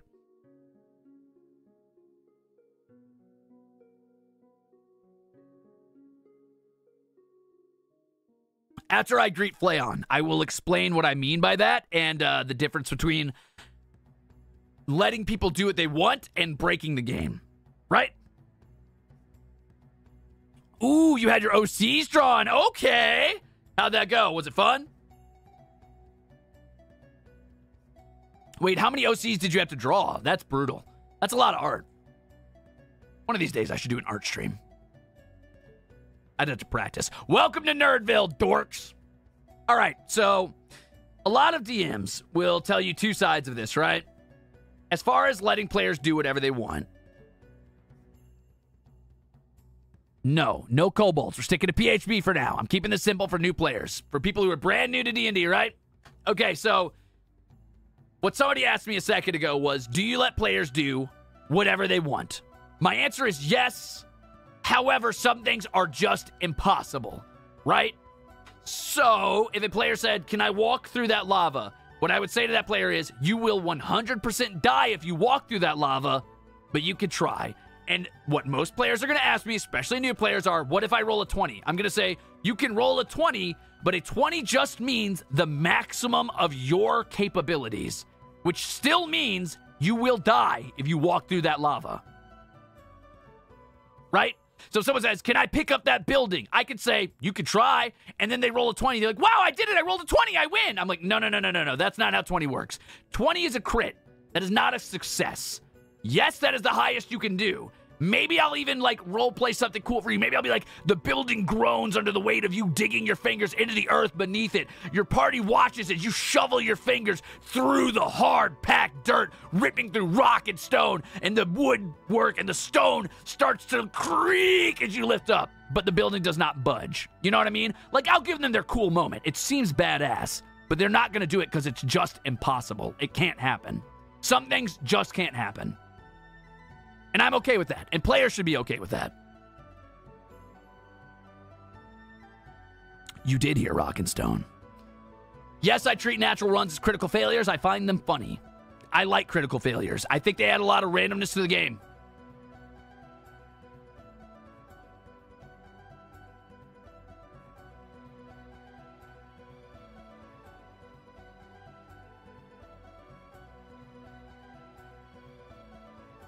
Rock and Stone, baby.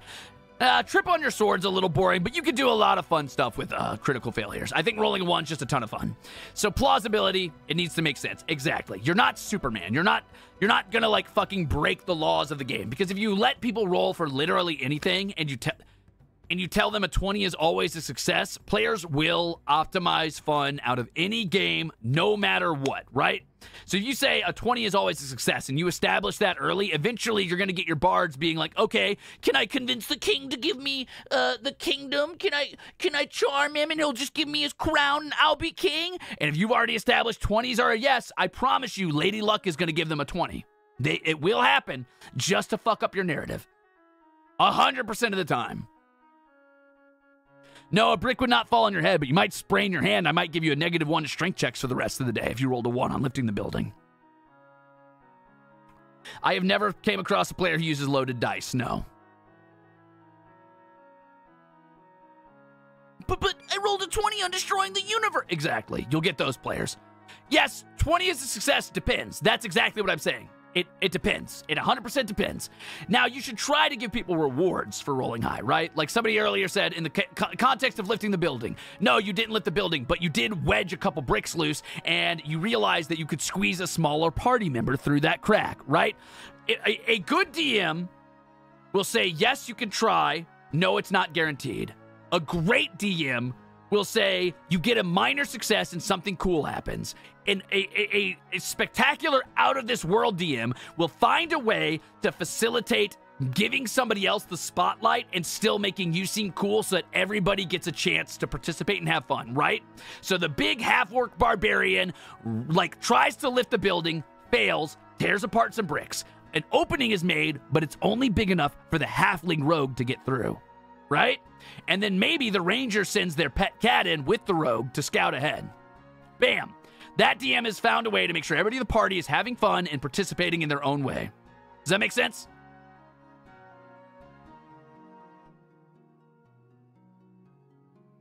Everybody's had their moment. Everybody did something cool.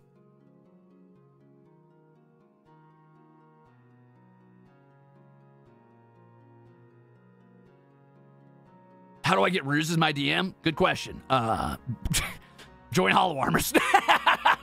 I want to play Age of Worm now. Age of Wonders 4, you said. No, I'm just kidding. Um,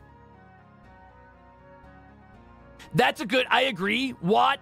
Uh, if they have a 100% chance of failing or succeeding, don't have them roll. But a lot of players are just going to want to roll for the sake of rolling. It really depends on the mood of your table. Like I said, none of these are a hard, fast rule. It depends on what you want to do. Some DMs will 100% be like, no matter what, a 20 is a success. No matter what, a 1 is a failure. And that can be really fast and loose and goofy and fun. Um, really good for beer and chip style D&D where you just gather up, you all get a little tipsy, you all drink, you all like munch fucking like bar food, order pizza, and you just kick back and make dick jokes or whatever it is you're doing and play your D&D game. Do I like that kind of D&D? Very, very rarely, not really. But I know a lot of people love just playing D&D like that, and there's nothing wrong with that. That can be really fun. You probably got gifted at Jackie's. We are still on Goldie, you're right. Actually, Smoky McPot, good point. I got to make some uh, movement here. All right, so Goldie is going to be a half orc, which means Goldie's going to need to now get the half orc uh, species benefits. So that automatically gives a plus two to strength, meaning this is now a 15, and a plus one to constitution, which is actually pretty big because that takes Goldie off of the uh, 10 and 11, which is plus zero, up to a 12, which is plus one. Meaning, for now on, every time Goldie levels levels up, that's an extra one HP, which could stack up pretty fast. Pretty cool. Also, strength just went up to a plus two, which is really nice. So now Goldie is equally matched in ranged combat and melee combat, is a little tankier, still has great wisdom, and I mean, has a little bit of Riz. You know, I got a plus one on the Riz checks down here. Not bad at all. Very fun, very cool. Right? Right.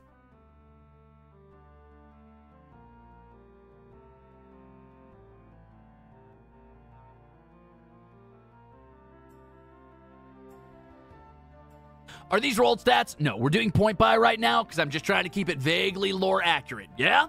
Yeah, okay.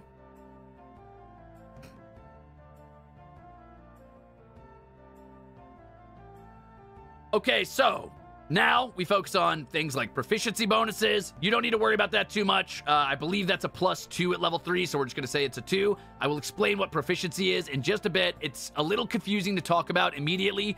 Ignore inspiration, and we're going to talk about what the bonuses are right here, okay? So these are his saving throws. Every class gets proficiency in saving throws, which I will talk about just a little later, okay? Let's start with a different thing. Proficiency is when you're a professor? You're right.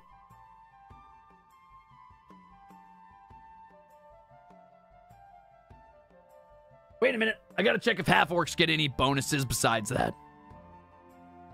Oh, fuck. I do gotta talk about proficiency. Damn it. All right, we're gonna talk about proficiency. Damn it.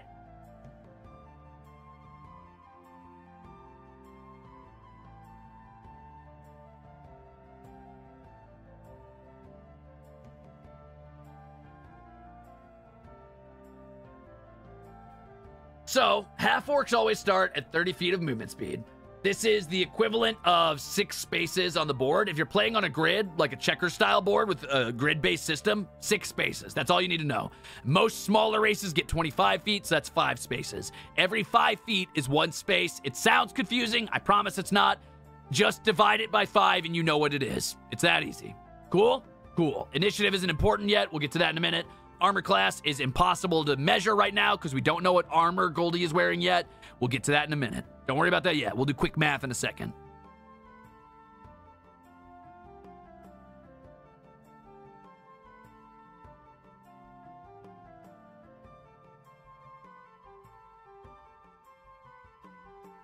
It's a very cool set of dice, Lord Banger. Half Orc does get proficiency in intimidation. Right now, I'm trying to decide how I'm going to mark proficiency. I guess I could just use a. You know what? We'll do it. You know, we'll do it live.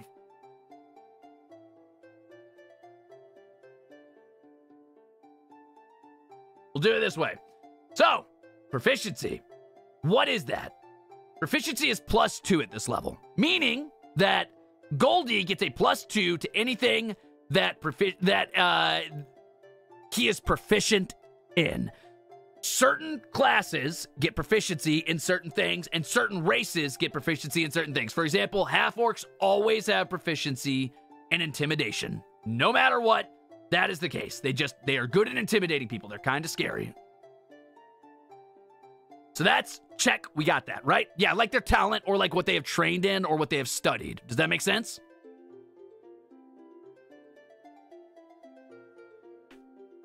Now I'm going to flip over to the page where the ranger is real quick, and we're going to see what their starting proficiencies are. I will show you the ranger page in a moment.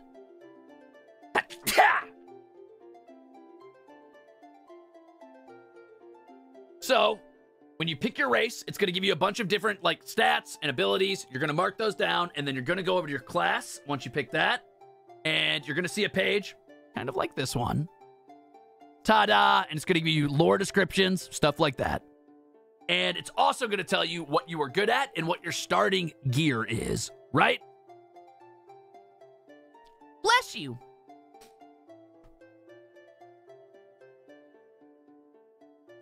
In this case, it looks like Rangers always start with their hit points being 1d10 per Ranger level. Sorry, their hit dice are 1d10 per Ranger level, meaning their hit points at level 1 are going to be 10 plus their Constitution modifier. Why is this important? Because we just got up to a 12 Constitution modifier, meaning he gets a plus 1. So he'd start at 11 HP starting out. He would have 11 as his maximum HP. However, every time GB levels up, he's going to roll a d10 and add plus one because he has a plus one to his constitution. Since we've already established we're starting at level three, that means I'm going to roll 2d10 and add two plus ones, right? Keep up with me here. It's quick math.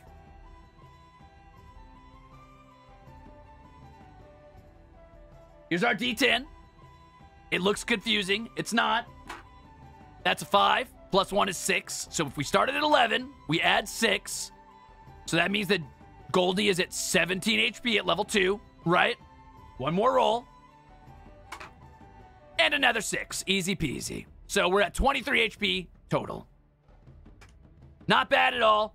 That's okay. Now, if you don't want to roll for your HP, you can take the median number plus one, right?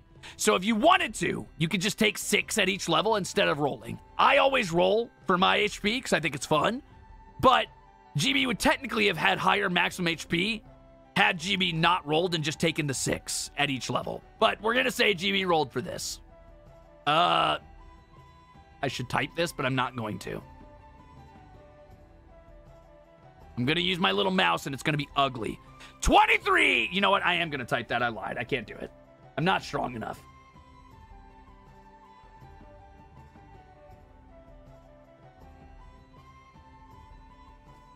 Yeah, you can have a house rule that you reroll um reroll ones. That's fine. Listen, it's your fucking oyster, dude. It's your D&D game. Do what you want.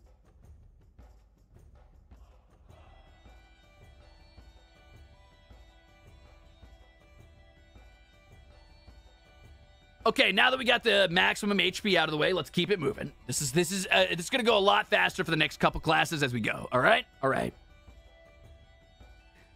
So GB has proficiency with light armor, medium armor, and shields. That are the that that is the type of armor that GB can wear. That means things like cloth armor, padded armor, leather armor, hide armor, chainmail. But GB cannot wear heavy armor, meaning no like plate mail and stuff like that. Right? Right. Cool. GB also has proficiency with simple weapons and martial weapons, which basically means every weapon in the game other than very specific racial specific weapons. Cool, cool. I do milestone leveling Musai because I just don't care to keep track of uh, experience, and I find that D&D doesn't measure experience very well anyway. Rangers have no starting proficiency with tools. This only matters for some people, like rogues having starting proficiency with these tools, for example, right? Like lockpicks and trap disarming kits, that kind of stuff. Got it, got it. Next, and this is where it's important, you check what the proficiencies are for your skills and your saving throws. This is very big. This is going to affect your whole game. You'll see that here. See right above the character sheet saving throws, skills. So we know that Rangers are always proficient in strength and dexterity, and they get to choose three from animal handling, athletics, insight, investigation, nature, perception, stealth, and survival. Right? Right.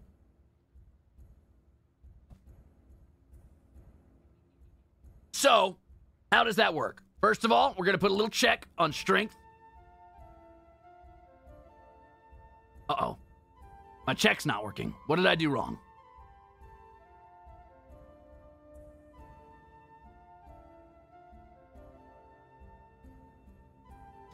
Ah, I see. I'm an idiot is what I did wrong. Okay.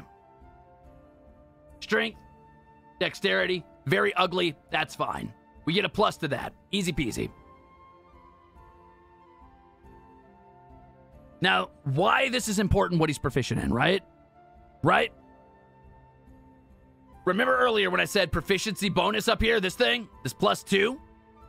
That goes up the further you get into the game. So it's going to change the way these stats work, as well as these numbers over here on the left, right?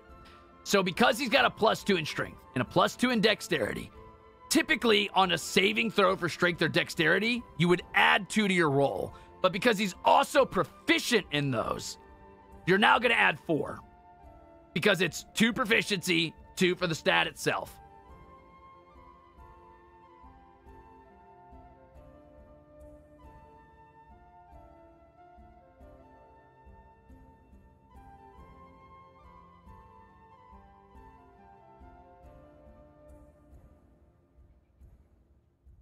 I really should have just done this by writing it myself, but we're here now, so I'm gonna I'm gonna grab it. I'm gonna grab it. I'm gonna grab it. I should have thought this through. I should have thought this fucking through. Grab it. Grab it. Grab it. Grab it. Grab it. Grab it. Grab it. Grab it. Grab it. Grab it. Grab it.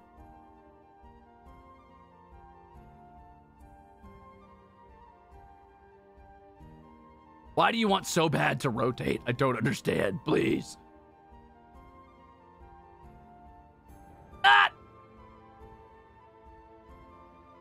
You know what? There we go. Easy as that. Yeah! well, the form fillable version, the problem with that, uh, Visler, is um if I use the form fillable version version, it tries to dox me, which is not great. I don't love that. So I'm not gonna do that. Constitution, we've established that the bonus to Constitution that GB got for being a half orc has actually moved it up to a plus one on Constitution saves, which is pretty good because Constitution saves happen a lot. Anytime you're like poisoned or exhausted or things like that. So Constitution's going to come up often. We know that GB is not necessarily exceptionally intelligent, not dumb, but a plus zero to all intelligence saves.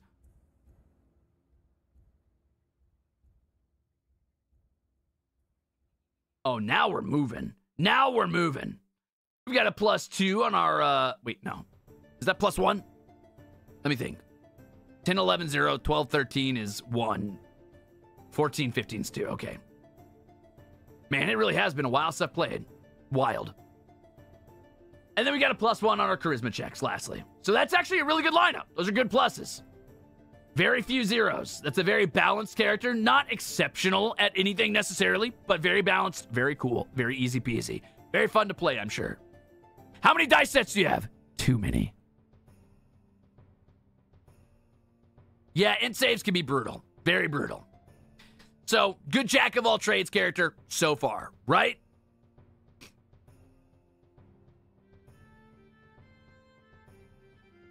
Now, let's talk about these. This seems intimidating, this big long list of skills, right? This seems a little scary, a little awkward, but it's not as bad as it sounds, I promise. All you need to know is that from that list I read you earlier, the Ranger list of skills, you get to pick three skills total. So those are animal handling, athletics, insight, investigation, nature, perception, stealth, and survival. We should break down those by the ones we know are guaranteed, like, yes, GB is skilled in survival, clearly. Thank you for the five delicious gifted memberships, nothing. Thank you for helping with the math. Hey, Osaya. Now I've got two left. I definitely think GB is going to take stealth. That would make sense to me.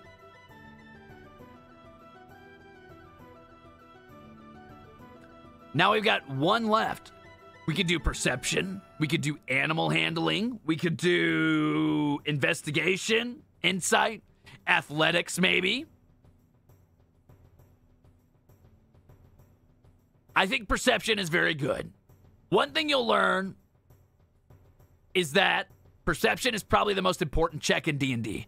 Insight is your ability to in its base form, insight is your ability to read a person, understand like when they're lying, or if something's off, or they seem like they're nervous about something, or if like it, it, it's basically social perception.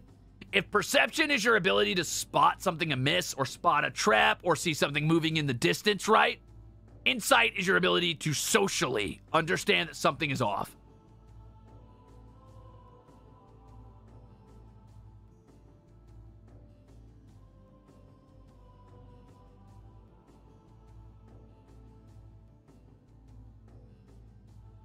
Based custom background truther. I don't fuck with bath- backgrounds most of the time, but I mean, it depends.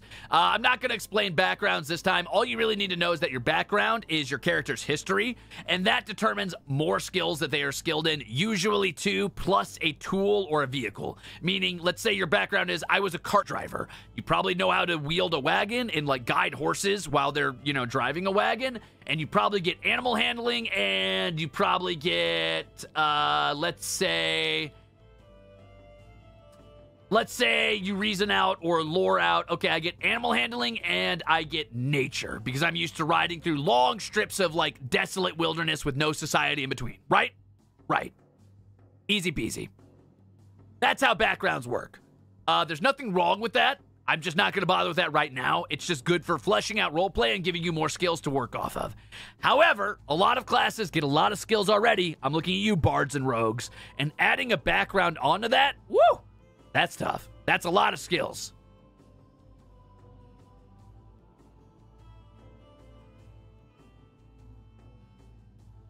So, what do these check marks mean? Well, just like on these saves, anything that is checked, GB is proficient in, meaning GB adds a plus two on top of the already plus to the stats. I'm just going to write in a couple stats here.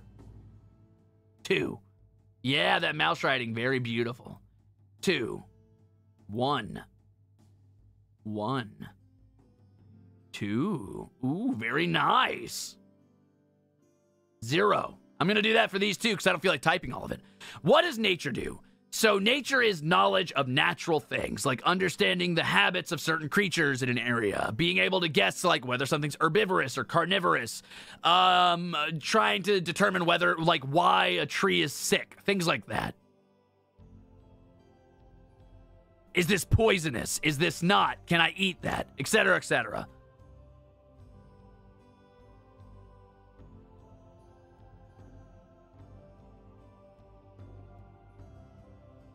You do get bear lore for nature, that's true.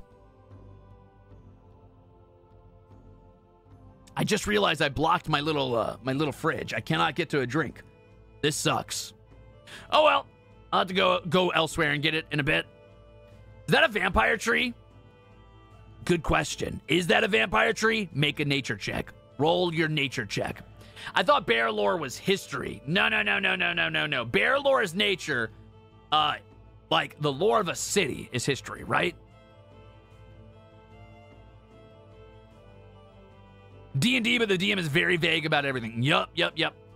Some of these checks are only useful depending on your style of play and your style of dungeon master, right? Like a lot of times you'll play an entire D&D campaign and never once use survival, and never once use religion.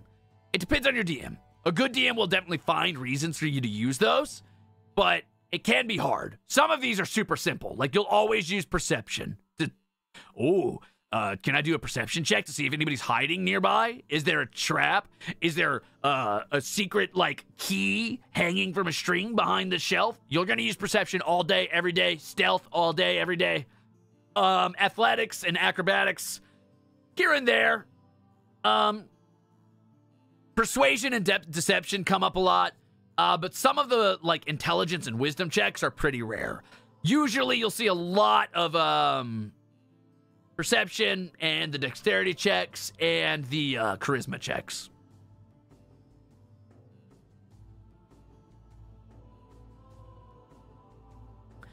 What is the difference between athletics and acrobatics? Great question. So, athletics is your physical, like, skill and endurance essentially so like your ability to run for a very long time uh to jump very far to like push something over to pull something down to heave a heavy object that's influenced by strength acrobatics is your ability to like do dexterous physical things like tightrope walk or um do a front flip over a railing um uh skateboard down uh, on a shield while you're shooting orcs that kind of stuff that's the difference so we know that uh, GB gets a plus two to any dex, and you can see that this says dex in parentheses here. So two. Wisdom, GB gets a two to that. Two. Arcana, GB gets a zero because that's intelligence, right? You understand? See, this is pretty self-explanatory, pretty easy to get through. You just go down the list, doing what you got. One, zero, two, until you get to a trained skill. Then you got to take the bonus for that skill. Intimidation is charisma, so one. But GB is trained in it or proficient in it. So you take this proficiency bonus, and that's a three. Pretty self explanatory, right? Easy peasy.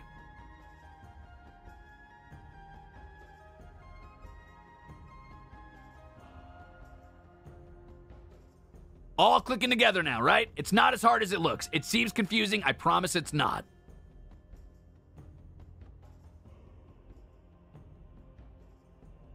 Good point, George. That's definitely not a bad idea. Uh, George says, I lower some dice checks. DC stands for dice check, and it's usually what the number is the DM has in their head that you have to beat to do something, right? So, for example, George says, I would let a cleric have a lower dice check on something like religion, even if the player doesn't put a PB on it, right? So, if a cleric, which is inherently a religious class, makes a check on a religion that they are familiar with, or even sometimes other religions, because they're familiar with how religions work, the dungeon master might say, okay, so for you, you have to beat a 10. Where if like the barbarian was doing it, maybe you'd have to beat a 15, right?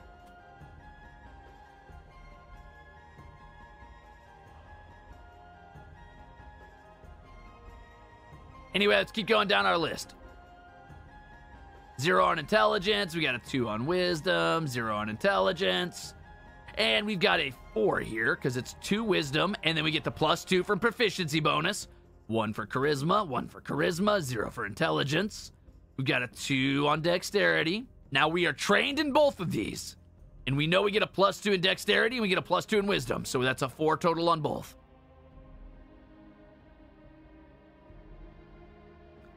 Now, for those of you who might be a little bit confused on what these numbers mean, more often than not, you are going to be asked to make a roll based on these skills instead of a raw stat, right?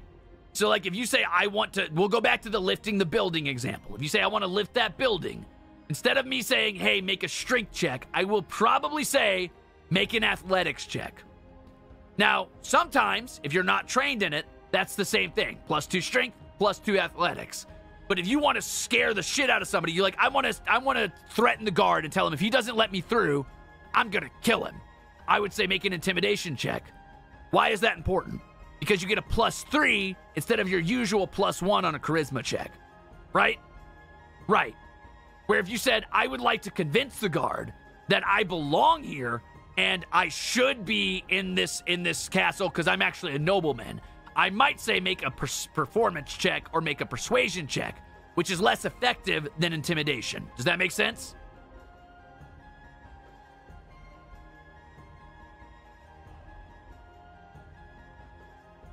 So you're a barbarian, yeah, Ruze? Hmm, maybe. We'll see when we get there.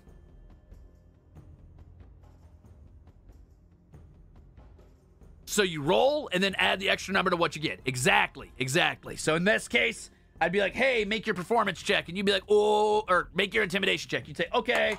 And then you roll a three. Not very good, but you get to add three to it. That's a little shiny over there. Let's move this over here.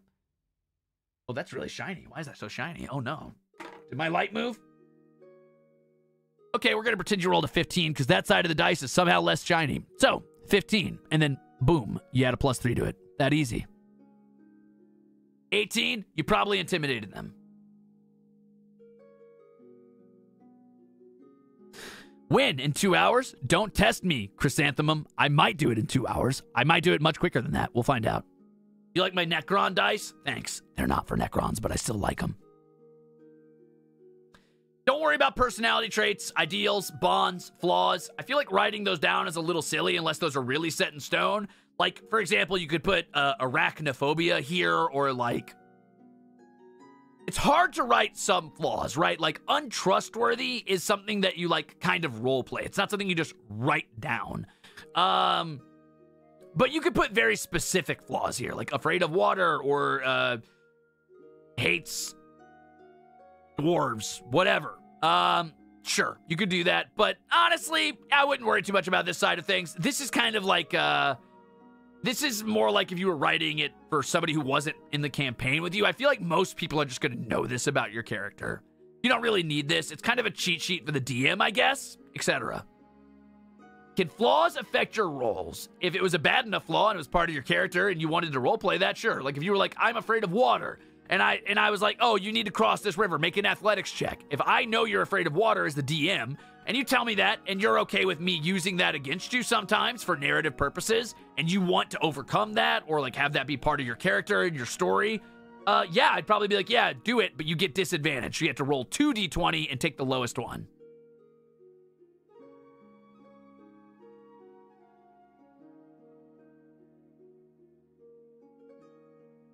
Listen, if you want to write your 27 like page essay on your character's personality traits, ideals, bonds, flaws, that's fine.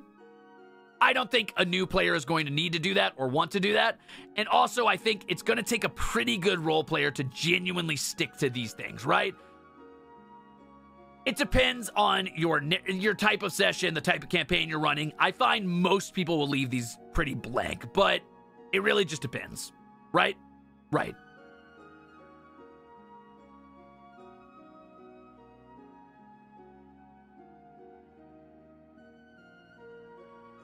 I think most people are going to go the Watt direction where they write a backstory and flesh out the character as they go. So you could add to this, right? Like, let's talk about being afraid of water again as a flaw. What if somewhere in the campaign you almost drown? You go underwater, a lizard man or like a slime drags you underwater, your character goes down to zero HP, your party barely saves you, right? Maybe your character now has adopted the flaw afraid of water because they almost drown at some point. That's scary. That's freaky. So now, when they're near water or they have to do something in water, maybe they get a natural negative to something like that. That's a lot of fun. You can write that down if you want to, but I feel like most people are just going to know that if they're in your game with you, right? That's Ruze's backstory. You caught me. Yeah, bonds can be interesting. I'm not going to go over these too much because it's a little too much for a first time talking about D&D, like getting it started the the more you play D&D, the more you're going to be able to flesh these things out, the more important they're going to be. Like if you do a I know a guy rule, bond suddenly becomes really important.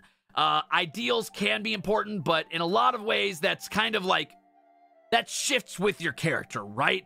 Like sometimes your ideals are really important. For a paladin, they might have a very stringent, like I do not believe in uh, hurting a defenseless enemy ideal or something. But even then, that's often only there so that it could like create interesting narrative with your character and conflict, and the DM should probably just know that. You don't have a wizard Hakito yet, Hakka. Also, hi Hakka Senpai, how's it going?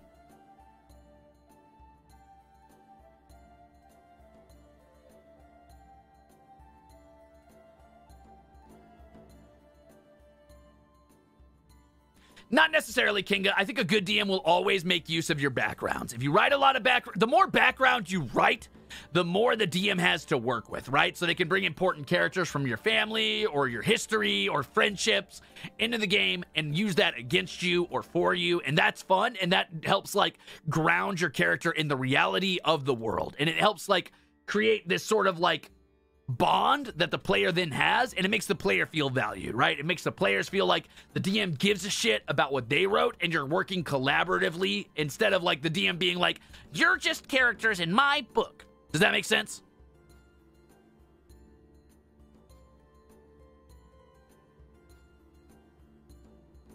Exactly. I hated the way that my DM used my background. Eh, your DM should probably ask you, uh, but I guess it depends on the DM. Shrug. Who was that? That was a uh, DM, DM Ruze. That's actually, that's how I talk when I DM all the time. That's my DM character voice. So whenever I run a D&D campaign, it's gonna be like this the whole time. You find yourself in a tavern.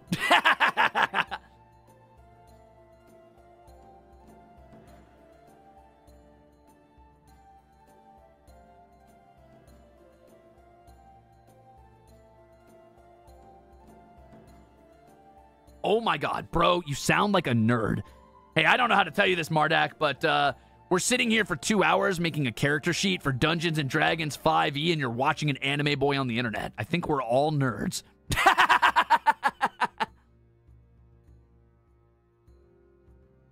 it's okay. We're all nerds here. You should leave holes in your background. It's a lot of fun. What a nerd! Unlike me, a jock. I wear my baseball cap backwards and push nerds in lockers. Or whatever the, the, the, the jock thing is, right? That's what jocks do. Am I right? I only play barbarian. Robert the Punch was a great name. Great name. Well, if I'm a nerd and you're a nerd, who's flying the plane? Like, zoinks! All right, let's speed run this shit, shall we? Uh, I'm gonna cut through some of this character sheet. I'm also gonna, woo!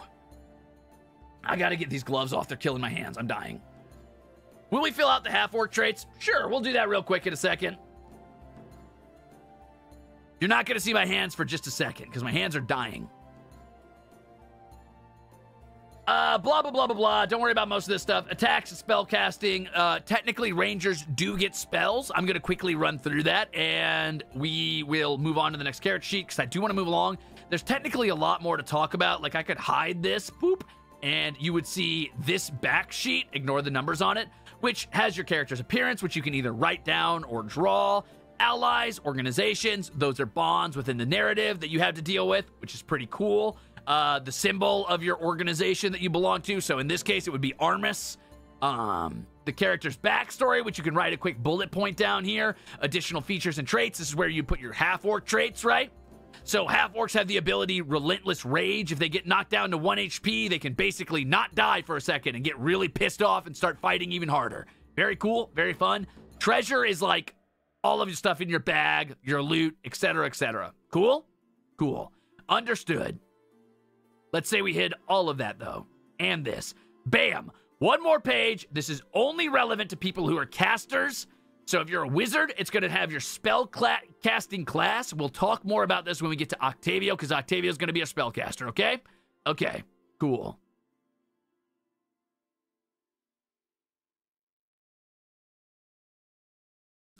Not catnips, cantrips. I'll explain the difference between those in a minute because spellcasters are just slightly more complex than fully physical classes. Rangers are half casters, meaning that they do get spells, but they're they don't get as many as full casters like wizards and sorcerers, that kind of stuff. Cool? Cool. So, let's skip filling this out. We're not going to bother. Don't worry about experience points. I'm not going to bother with that right now.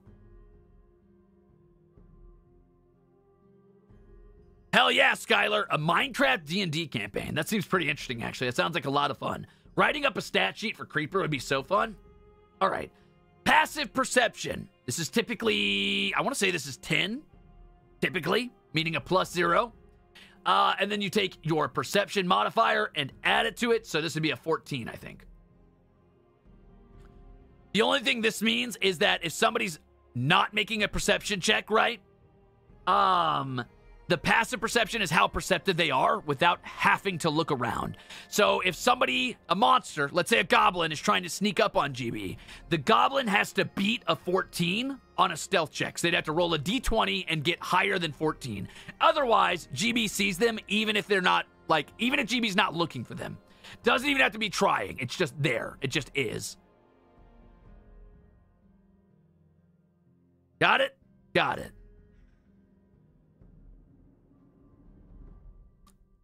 D&D Online depends on how you play it, but yeah, it could be good.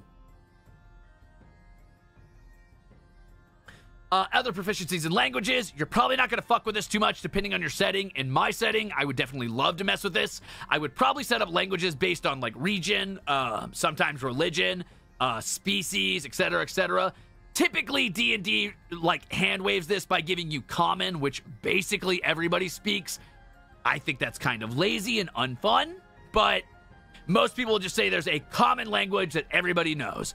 And then there's secret languages like Elven and uh, Dwarven and Thieves' Cant. Uh, I don't like common. I think there should be like regional languages. Like if you have a, let's say you've got a city and it's called, uh, let's say there's a language for South Elysium, like it's Southern Elysian, and then there's Western Elysian, there's Xenocunian, uh, that kind of stuff. I think that's more fun. Um, and then you could break that down even further into like, uh, let's say there's Lizardman Xenocunian, uh, which is different from like human Xenocunian, right? So you've got like Hiskin Xenocunian versus like uh, human Xenocunian. And dialects. Dialects are fun too, yeah. I've never played Exalted. I wouldn't know. Lizardman? Jurard? Maybe. I think Jurard would be like a half lizard man if that's even possible.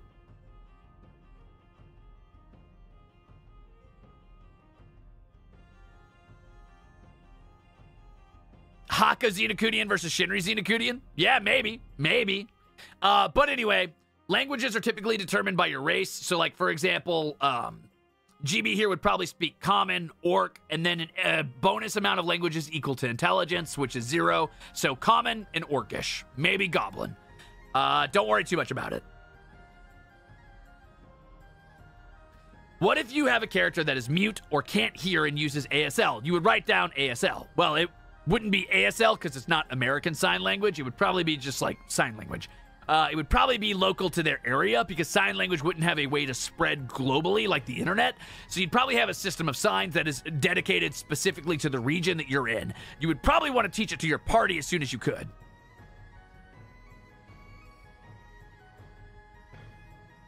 Yeah, you could say common sign language if common is a thing in your setting, so CSL. That language rule sounds like a pain to deal with. Most people don't deal with it. They just say everybody can speak common.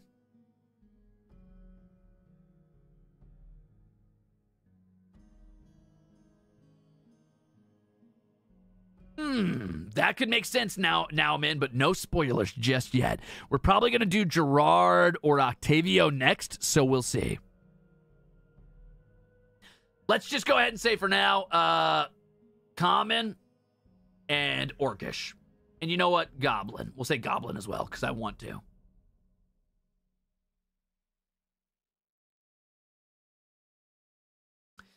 Ah, attacks and spellcasting. This is, um, hmm.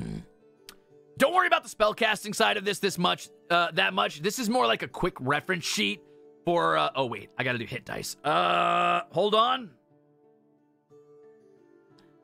Basically, GB has three D10 hit dice. What this means is that whenever GB takes a rest, GB can roll a D10 and recover that much HP. Cool? If GB takes a long rest, GB can just fully heal. Uh, you only get three of these. You get one per level. So you can only short rest like three times. Or you could just roll them all at once on one rest if you're really hurt. Does that make sense?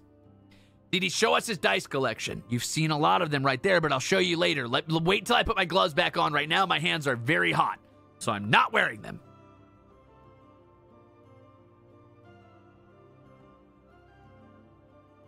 Yippee! Don't worry about death saves. That's only important if you drop to zero HP. That's more gameplay than character creation. We'll talk about that some other time, probably when we're actually playing. Let's focus on attacks and spellcasting. This is determined by the weapons you wield or the spells you use. In a ranger's case, a ranger starts with this equipment either scale mail or leather armor, um, two short swords or two simple melee weapons, a dungeoneer's pack or an explorer's pack, and a longbow and a quiver of 20 arrows. I think that's boring, so instead I'm to say GB wields a heavy crossbow.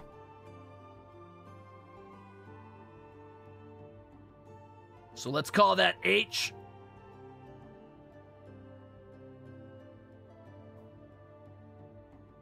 Cross. Oh, that mouse handwriting's looking real good. Real good. That looks like gross. Cross. Boom. Okay, so a heavy crossbow, right? Heavy crossbow, I believe, is 1d10, and then you add your attack bonus. It relies on dexterity for its bonus. GB is also proficient in it, meaning that we are going to take the bonus from proficiency, which is up here, and the bonus from dexterity. So that's going to be a plus four chance to hit. Right? And then the damage is 1 D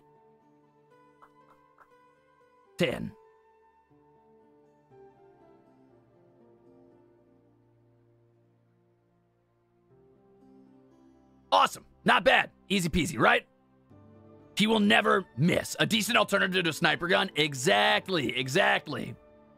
Does his crossbow have a name as well? Probably Lorraine, I would imagine. Um, now, this differs with melee weapons because range weapons don't get a bonus to damage from your stats, but melee weapons do. So let's also say GB, for CQC purposes, wields, let's say a dagger. Because GB wears a dagger on the hip, right?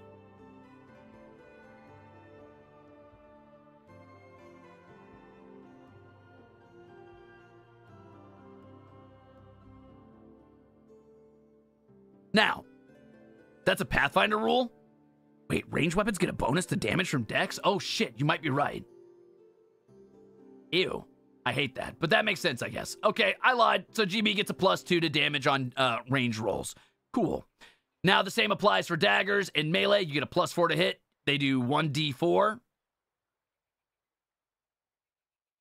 And then the plus two for strength and or dexterity. Daggers are finesse weapons, so they can use range or they or dexterity or strength, right?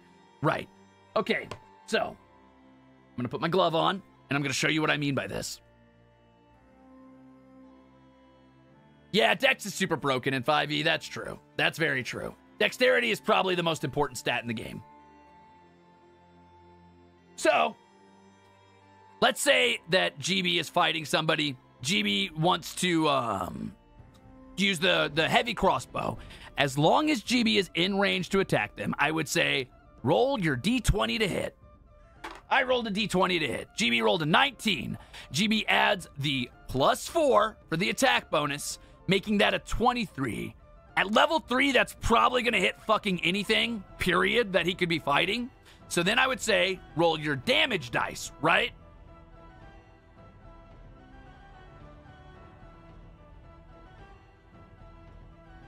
Which in this case is a d10, which is 2.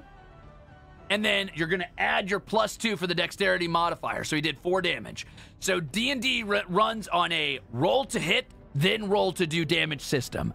That means anytime you want to attack somebody, first you need to roll, which is going to do the d20, and you have to beat their armor score, which is up here at the top, right?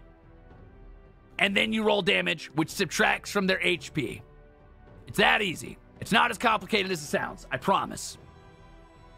So does everybody understand now? We understand D&D.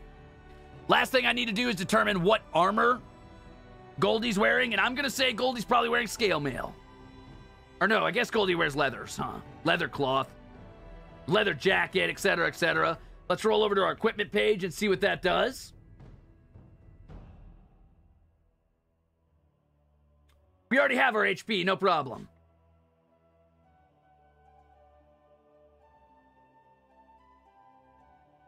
So, leather armor. GB has leather armor, which is going to be 11 plus dexterity. Why is armor difference important? Because it is a flat number, and then you add your dexterity modifier. However, it only goes up to a certain amount based on the armor you're wearing. Some armor is so heavy, it slows you down, right? So you can't actually use that much dexterity to dodge out of the way. The reason dexterity applies to armor is because it's assuming that you're fast enough or dexterous enough to get out of the way of an attack. So a person in like leather has 11 plus their dexterity, right? So that's 11 plus 2 for GB, which would be 13. So if you have a high enough dexterity, sometimes it's better to wear lighter armor because you just get such a huge bonus from dodging out of the way rather than the heavy armor, right? Some are so heavy that they don't add dexterity at all. So you might say to yourself, why would I ever wear heavy armor? Well, you might be like uh, a, a barbarian, or let's say a paladin, right? Who has a plus zero in dexterity. You're not dexterous, but you're very strong. Well, then you wouldn't want to wear light armor because you get a plus nothing. You want to wear the heaviest armor you can for the highest flat bonus you can get. So you'd probably be wearing full plate mail because that gives you an 18 to armor. And then you'd probably use a shield because that gives you another plus two, putting you at 20 armor, which is very high. Pretty awesome, right?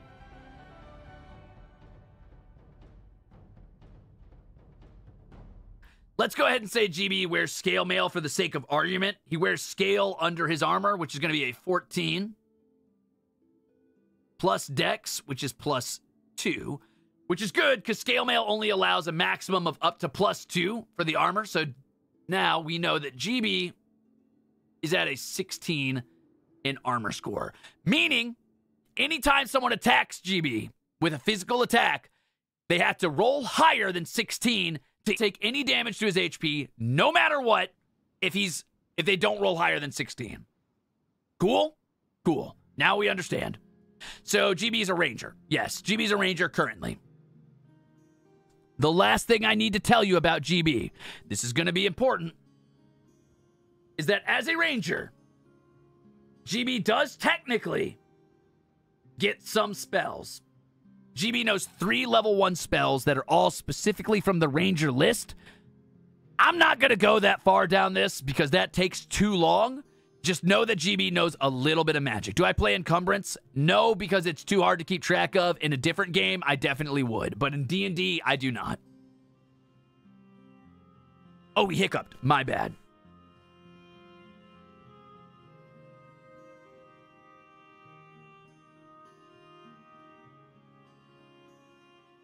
See you later, Moon Pie.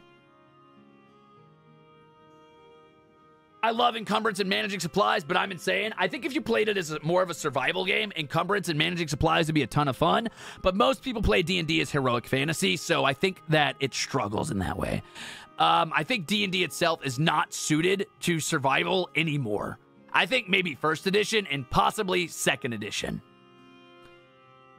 Okay, so since Rangers know spells, let's go ahead go ahead and say GB knows the spell Hunter's Mark, which makes it so that enemies take more damage from ranged attacks, basically, if I remember correctly.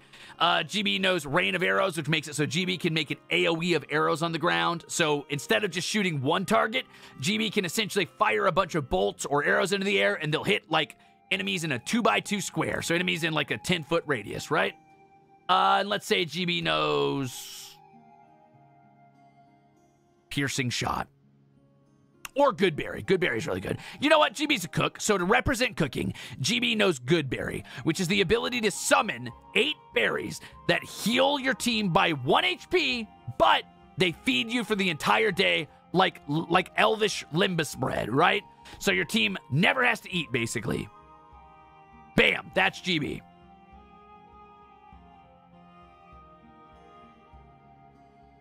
It is an OP spell, definitely.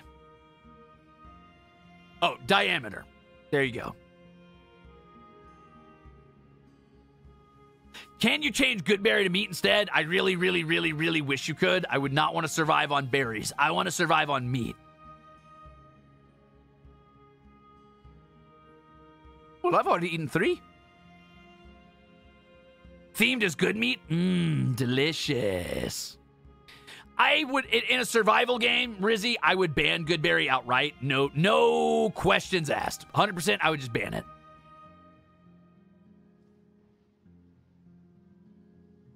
Mmm, meatberry. GB stands for Goodberry. Exactly. Hunter Owl, welcome in. That good meat. Dino Raid. Did I get Dino Raided? Huh? Did I miss it? Did I not see it? Oh, you're early. You're dino rating early, aren't you?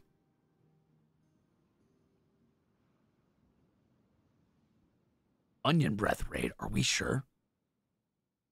Where?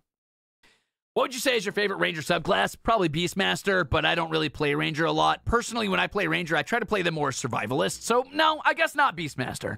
Maybe Gloomstalker, but flavored outside the Underdark, or uh, maybe marksman, I guess. Is marksman a subclass of ranger? I can't remember. Or no, that's a fighting style, right?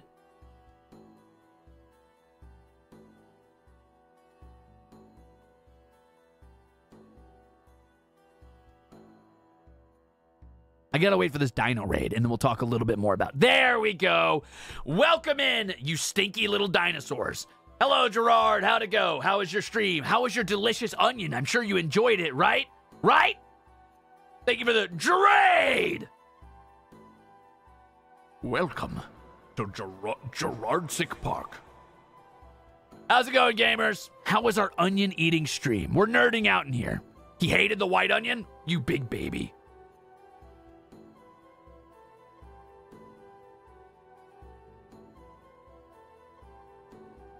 It was something. Hi, hi. We're nerding out with D&D. We're rolling dice and stuff.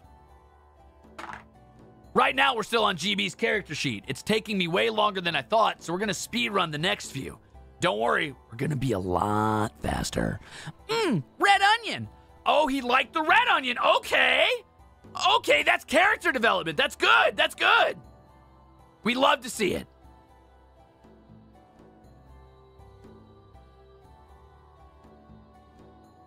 Please don't smash the red onion. Though. We no no no no no no no no. Don't don't don't smash the red onion. Just just eat the red onion. Just eat it. I don't think you would enjoy smashing any onions, trust me.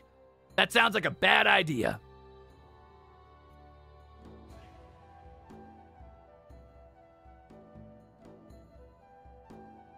I think Berserker Barbarians are cool, but they need a buff.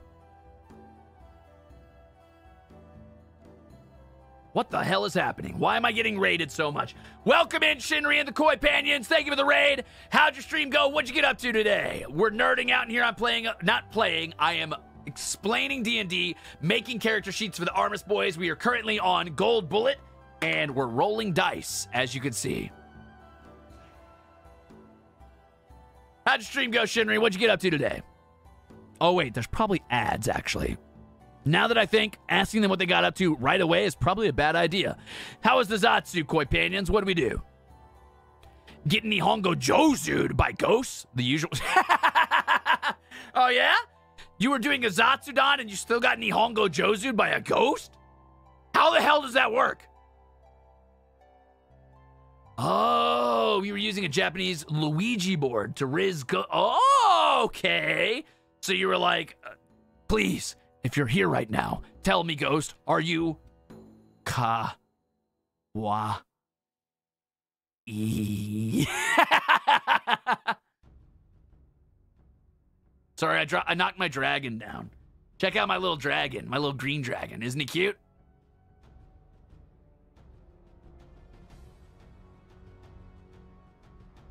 Exactly. Okay, I get it. I understand. Speed dating, but for the supernatural. On it. No problem.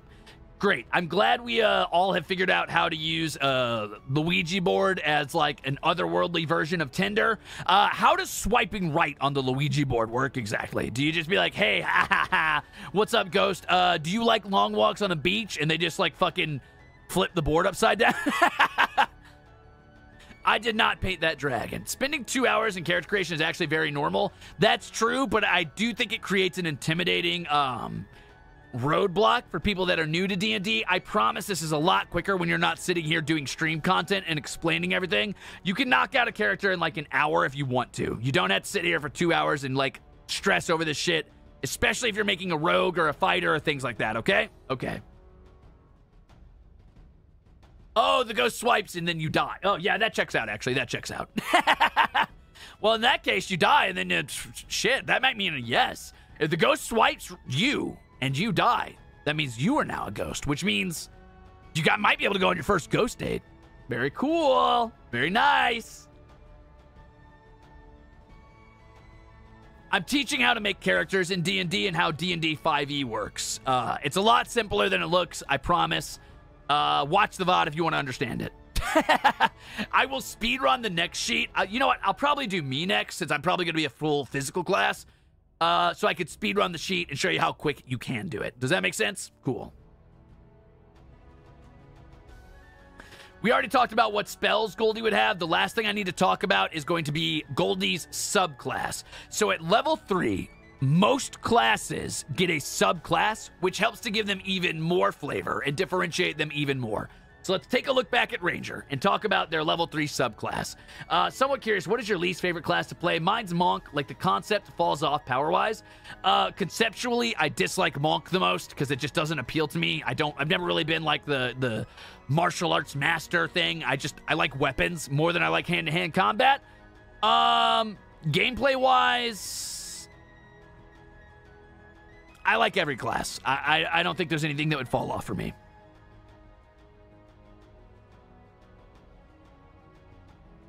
So, let's talk about being a ranger. Besides determining your starting equipment and your HP and your, like, uh, you know, abilities, your class is going to determine your flavor for the rest of the game.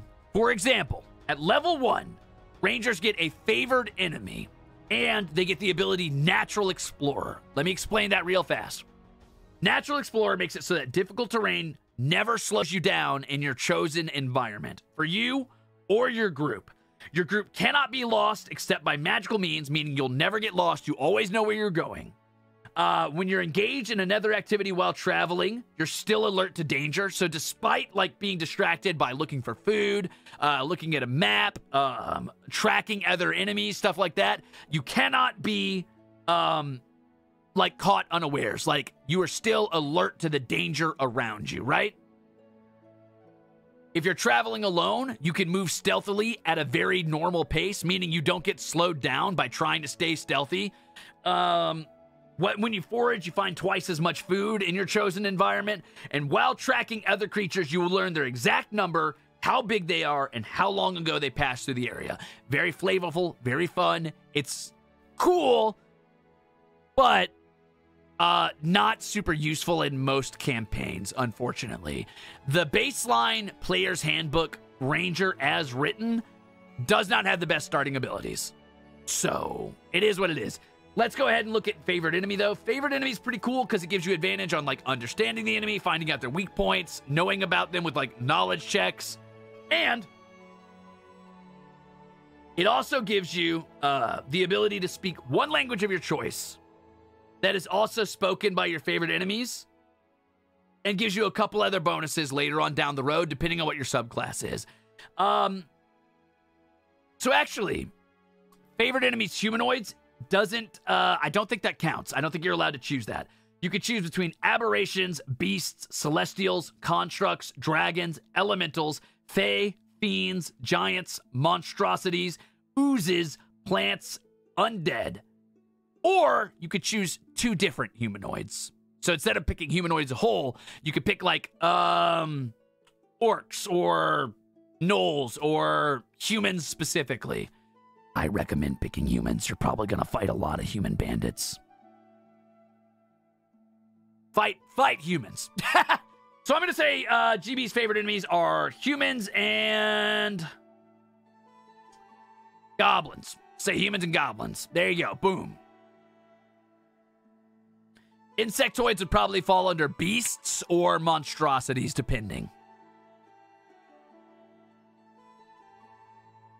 I could also say GB's favorite enemies are corruption beasts.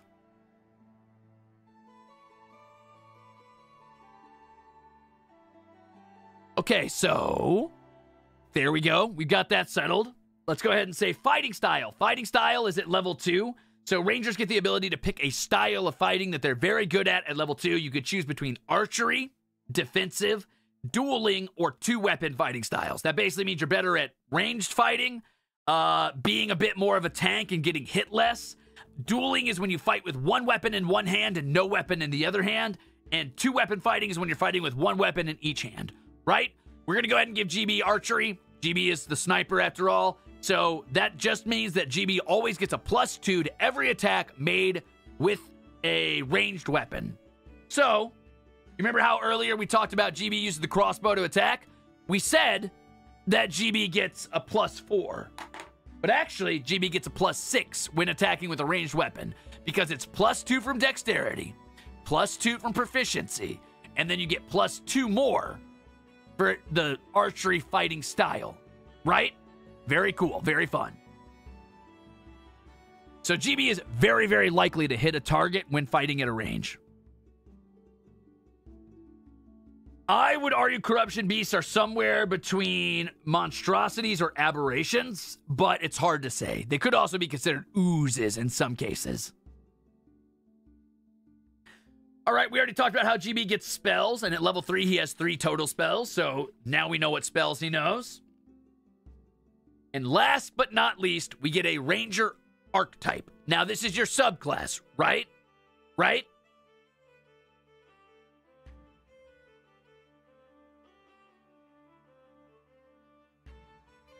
Unfortunately, Rangers only get two subclasses in the PHB. Subclasses, think of them like splits on the skill tree of a class. So you can go Hunter or Beastmaster in baseline um, PHB, Player's Handbook, right? Without any mods or extensions or extra books. I'm going to say Hunter. And Hunter is basically just a better fighter where Beastmaster gets a companion that follows them around and can fight with them and for them. So in GB's case, if GB went Beastmaster, GB would probably get like a hawk and use Bubby, right? Like Bubbies as the hawks. Um, this would give GB a companion that can help harass enemies. Um, and kind of take turns alongside GB, but Beastmaster and PHB is actually really bad, so we're not going to do that. We're going to go ahead and say that GB's a hunter. You don't need to worry too much about the subclass. Just know that it changes the flavor entirely and they get special abilities every couple levels. So at third level, when you first pick Hunter, you can pick between three special abilities Colossus Slayer, Giant Killer, or Horde Breaker. I think GB would take Colossus Slayer. Why? Because check this out Colossus Slayer makes it so that Anytime you hit a creature that is not at maximum HP, it takes an extra 1d8 damage. Let's imagine GB is fighting a creature that is exactly as powerful as he is. So it has 16 armor, 23 HP. GB attacks at a range. GB rolls 19. GB gets a plus 6 to hit, right? So GB definitely beats his 16 armor. So we know GB hits. Now, if this creature has already taken damage, let's pretend it took 3 damage and it's at 20 HP, right? GB does 5 damage plus 2. That's 7. And on top of that,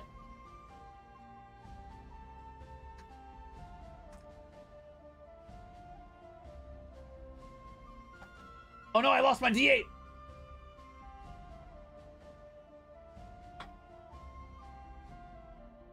On top of that, GB gets to add a D8 to the damage. So we add another three. So every time GB hits, he's almost doing double damage. He gets a D8 and a D10 as long as they're not at max HP. That's pretty wild at low level. Very fun, very strong. If you add in the spell Hunter's Mark, you're doing even more damage. That's another D8. So then you would be doing on one shot D10 which, okay, we're going to re-roll that because I think that's a yucky one. 10 damage plus 2, that's 12 damage, bringing him from the enemy from 20 HP down to 8 HP. You roll the D8, that's 7 damage. It's at 1 HP. Hunter's Mark adds another 8 damage, 7 damage. In one turn, GB just did 12 damage plus 14.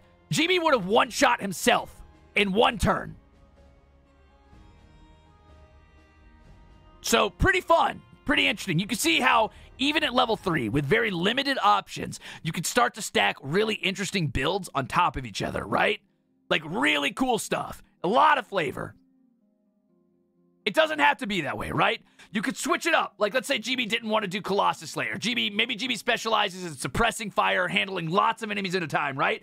Maybe at level 3, instead of taking Colossus Slayer, he still goes Hunter, but he takes the ability Horde Breaker.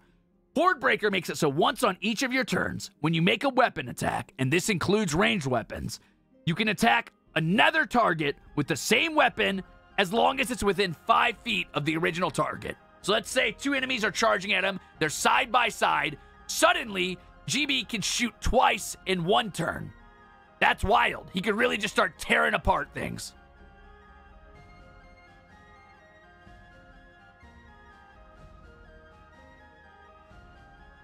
Good AoEs. Exactly. Exactly. Fan that hammer. And then at level 7, if you stayed down the hunter path, right? You stay on hunt, you stay in hunter. You can pick up escape the horde, multi-attack defense, or steel will. Steel will makes you very resistant to being frightened. Escape the horde makes it so opportunity attacks against you have disadvantage, meaning that he can get away from melee combat much easier. Or he can take multi attack defense, which is whenever a creature hits you with an attack, if they attack you again in that turn, you get a natural plus 4 to your armor. Meaning if somebody hits GB in a turn, suddenly his armor goes from 16 to 20. That's hard to hit. My favorite uh, class is Ranger. I use with one level of Barbarian and go strength melee. I use the Beastmaster just for the pet can give me free flanks. Hell yeah, super strong. That's fun as hell. Yes, there's multi-classing in 5e. I'm not going to bother with that for now because it does get a little wild. The cool thing about Colossus Slayer and Hunter in general is that it's not necessarily limited to ranged weapons, right? GB could do this in melee as well. So there you go, CQC. Bam! Lastly, at level 11, as a Hunter Ranger, you would get either volley or whirlwind attack, which are separated into melee and range. So you kind of have to make a decision here. Let's go ahead and say GB at level 11 takes volley, right?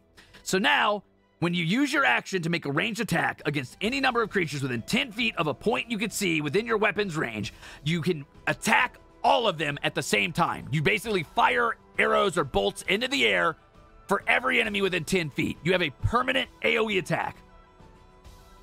Pretty wild. In a given turn, you could hit four enemies with one attack. I agree, more like a volley kind of dude.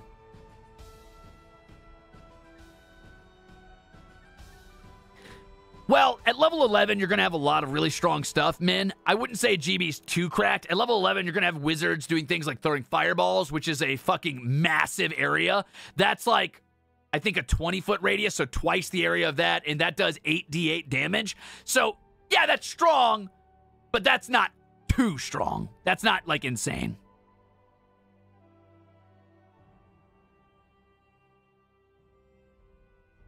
Oh, sorry, it's a 4x4 area, up to 16 creatures. Still wild.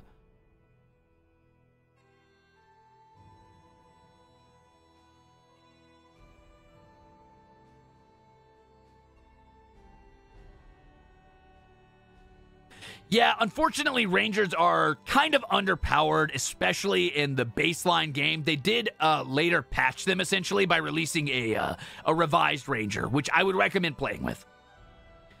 I will probably play D&D with the Armis Boys at some point, yes.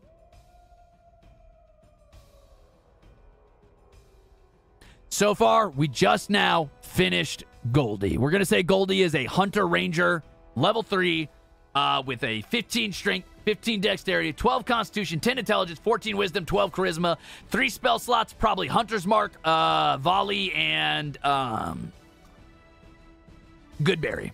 Boom. Done. So let's speedrun a Ruze sheet, shall we? Yeah, Animal Companion's really bad on regular 5e, so we're not going to talk about that. What's wild magic? Not important unless you're a sorcerer. Pathfinder 2e, I like it. I wish I'd gotten to play it more. I've played two whole sessions of it, and I've never gotten to run a game of it. I would like to at some point. Will I upload the character sheets anywhere? Maybe. I would want to redo it without the handwriting, so I'd probably go back and rewrite it. So yeah, I would say so at some point. I'll upload them on Twitter later. Uh, maybe either tonight or tomorrow. Cool? Cool. Let's say GB makes his own gear. Why not?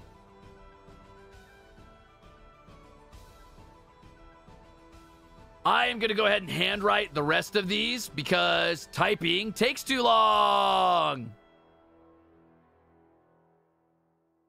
Oh man, do I have it in me to go through all four extra character sheets or would I just want to put those on Twitter? Hmm, how long have I been going? Two and a half hours already, huh?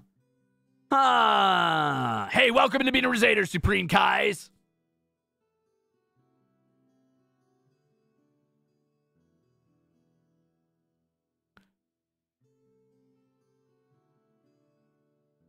Well, Inaki, sometimes you can just find people to play with online. Do half today and half later. Oh, I could do that.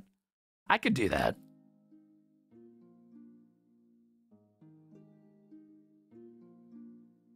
Because I'm so powerful at pronouncing names. I am also explaining to chat. That's true. I'm going to watch the VOD for learning purposes. Good. You know what? Let's just keep it moving. Let's go ahead and we're going to handwrite the rest of these. Uh, so I'm going to, real quick, grab another little whoop, sheet and move it up. There we go. Uh-oh, what is this? You know what? I'll probably have strength. So let's go ahead and say this character's name is Ruze. Uh, we're going to be a, believe it or not, a fighter.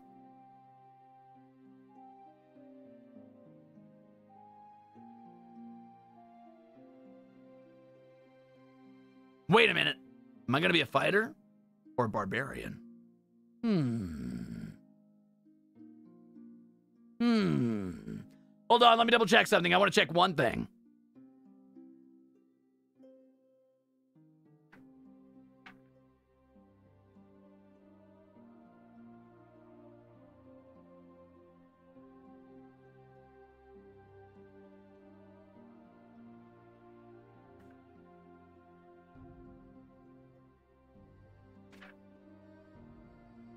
Why not both? Because we're not multiclassing right now.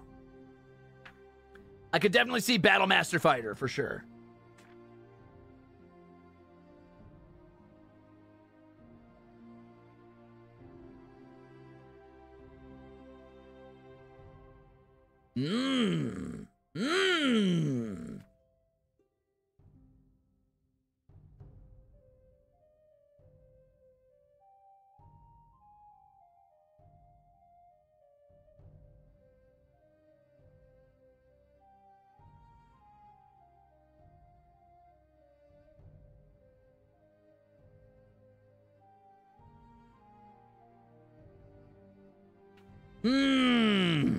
I'm cooking. I'm cooking. Bambi, thank you for all those delicious member chips. Um, yum, yum, yum, yum. We're doing PHB right now, gamers. Do I rage?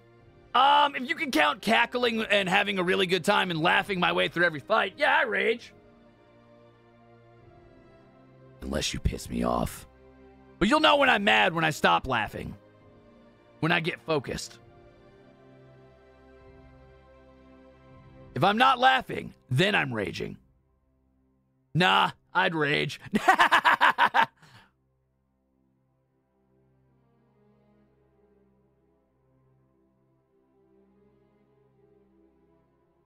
problem I have with barbarians, right? Is that they they have a natural proclivity for like being part of the natural world. They have a sort of naturalistic vibe to them, which is cool. I like the natural world, but I don't think I have a, like a connection necessarily to nature. I don't have like a primal path necessarily. Um Do I like weapons too much to be a barbarian? Am I? No, I'm not. I'm not a half demon. I'm just a regular human. I'm a regular average human. Why would you? What? What? you're so. You're so silly. You're so funny. Nah.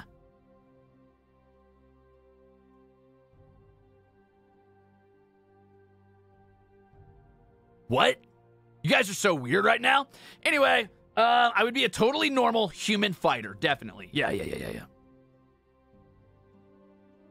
Why do I feel gaslit? What are you talking about? Tiefling? Boo! What do you think? I'm an edgy. I, I, didn't get into D and D through Critical Role. How dare you assume I'd be a tiefling?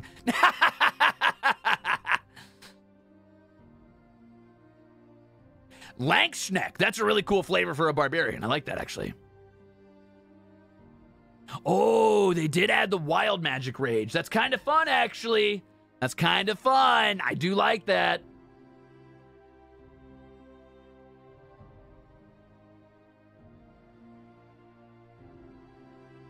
Oh, I see, I see, I see. Vox Machina had zero tiefling, sir. Oh, sorry. Have you gotten a Critical Role season two?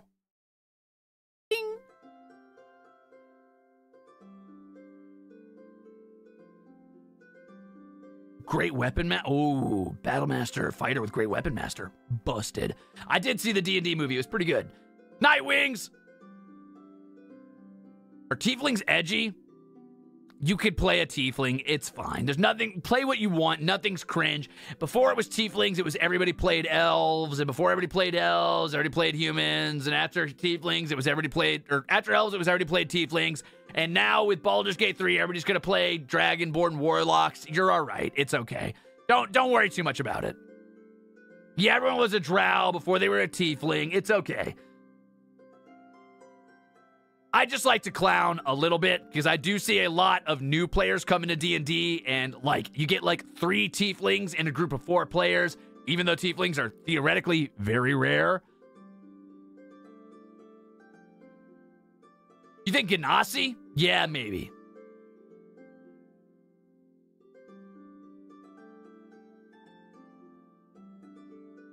Hmm. I don't know if I have a favorite subclass. Like I said, I rarely get to be a player. I'm almost always a DM. Uh, I would say my favorite subclass is probably Thief Rogue or.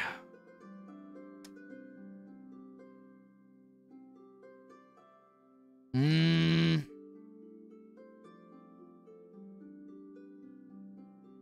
I don't know. Maybe Abjuration Wizard Battlemaster Fighter. Well, I like Eldritch Knight too. I, I don't know. I don't know. We are currently in the look at me Tiefling era. True.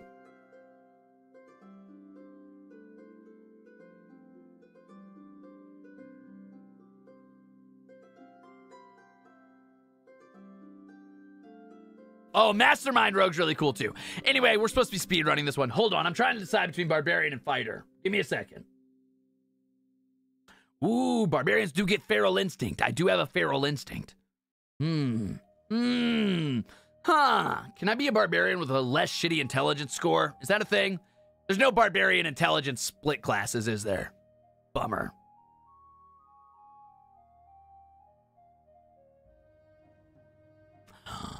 What if? What if we we do stats first and everything else second? How's that sound? Ruze got that dog in him.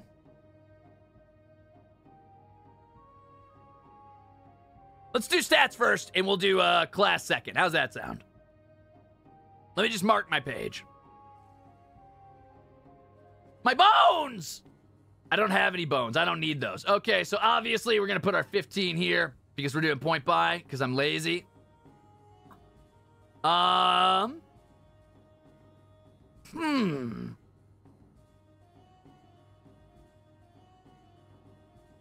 We got that low charisma.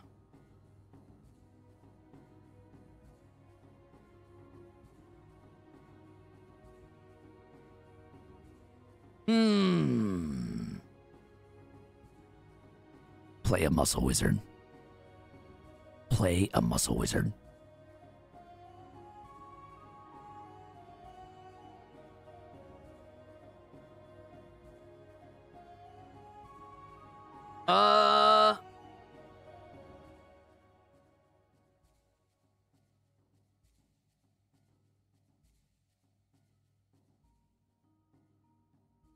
We go. Okay, easy peasy. Done. We got it, baby. What's a muscle wizard? A wizard with really high strength. Uh, so a fun and interesting way to play wizard would be to play muscle wizard and dump intelligence. Typically, wizards cast all their spells based on intelligence, but you could take spells that don't have an attack associated with them, spells that are only utility, right? So if you wanted to, you could play a very high damaging wizard with like really strong like strength score and only take spells that give you like plus to armor or make you bigger or uh make it so that you can like uh stun enemies or stagger them, right? So as long as you're not making rolls on any of your spells, you're still a really good wizard. You just don't use anything that's to like require you to use intelligence, right?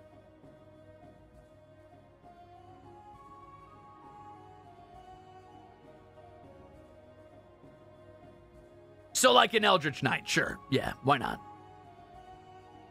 War Magic Wizard? I don't know what that is. I've never checked it out.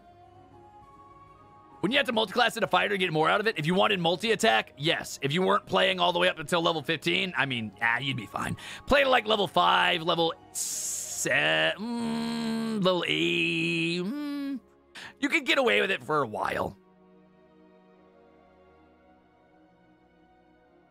No 11 in standard array, just 8, I think. Is that true? Huh. Well, I already did it for GB, so I'm just going to leave it alone and say it's fine. Yeah, Blade Singer's definitely the best way to do it. Because you could use Dexterity, and Dexterity is the most busted stat in the game, so...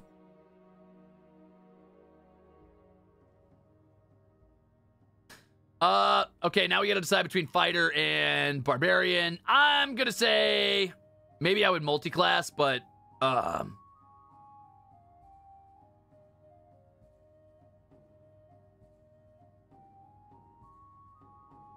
Man, I do like I do like variety. An unarmored defense is very fun.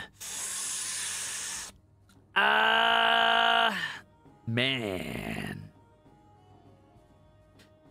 15, 14, 13, 12, 10, 8. Ah, it's too late. I already I already busted GB stats. I guess we're stronger stats than all you regulars.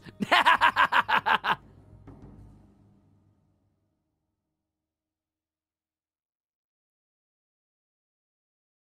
could flip a coin.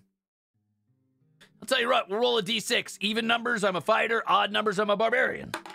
That was easy. I'm a fighter. There you go.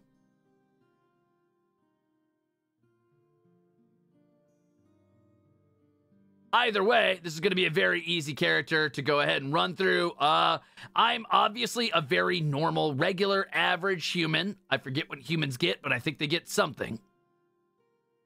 I think they just get a regular old plus one to two different stats, right? Isn't that what humans get? A plus one to two stats? Oh, a plus one to all stats. That's something. Huh. 12. Uh. Man, now I gotta erase shit. That's fine. All right, we can do that. Hold on. We can do this. One second. One second. 15. That's gonna be a 16.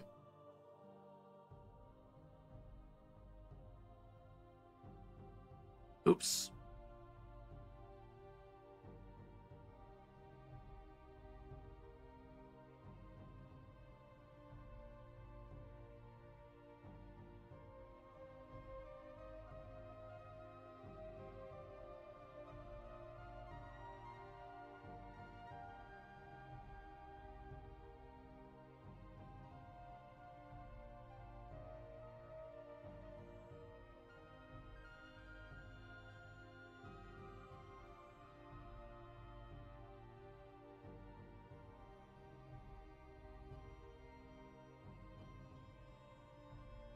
And I'm going to drop that to an eight because I want to. Beautiful.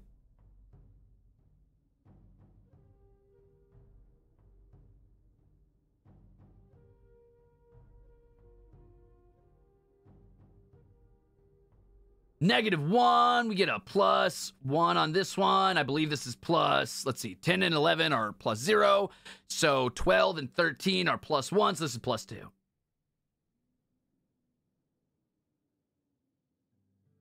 Maybe I would swap these. That's all right. One. Uh, 15, 16 is three, right? No, wait. 10, 11, 0. 12, 13 is one. 14, 15 is two. So this is three. Bam! It's that easy. Done. You love my handwriting? Thank you. I'm doing it with a mouse. Isn't it beautiful? Don't you love it? So let's show you how quick you can go through a character sheet. Fighters are proficient and I have I have a plus two proficiency.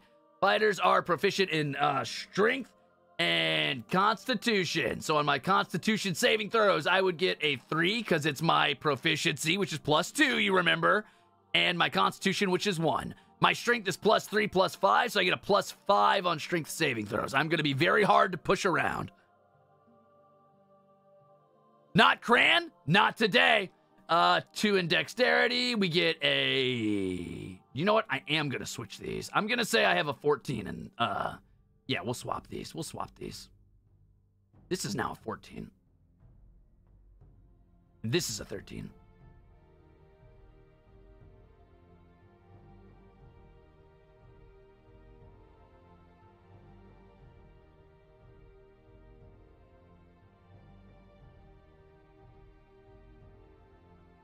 What did I, I? I'm an idiot.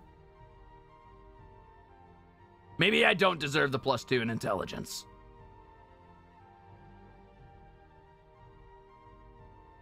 Bam! That easy.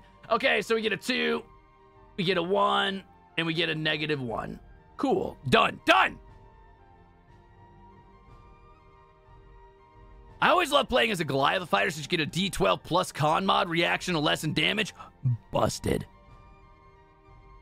From a 13 to a 13. All right, so fighters get to pick between. Um, they get all armor, all shields, all weapons, and their skills are two skills from acrobatics, animal handling, athletics, history, insight, intimidation, perception, and survival. I think my perception's pretty good. Um, but so is my insight. Uh oh. Uh oh. So is my hmm.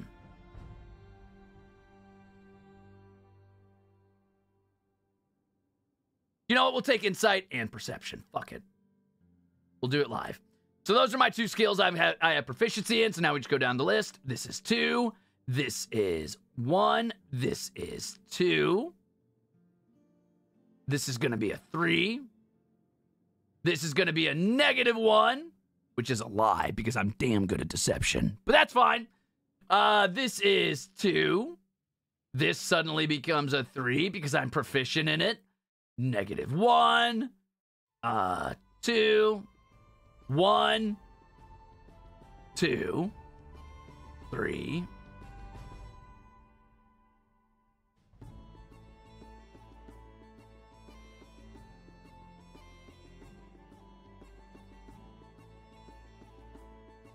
And there you go. That's how fast you can go down the list. As soon as you have these modifiers on your stats, as soon as you get your stats set up, you get your proficiency bonus, and just find out what you're good at and proficient in, boom, you're done. That easy. One, two, buckle my shoe. Three, four, intimidation score.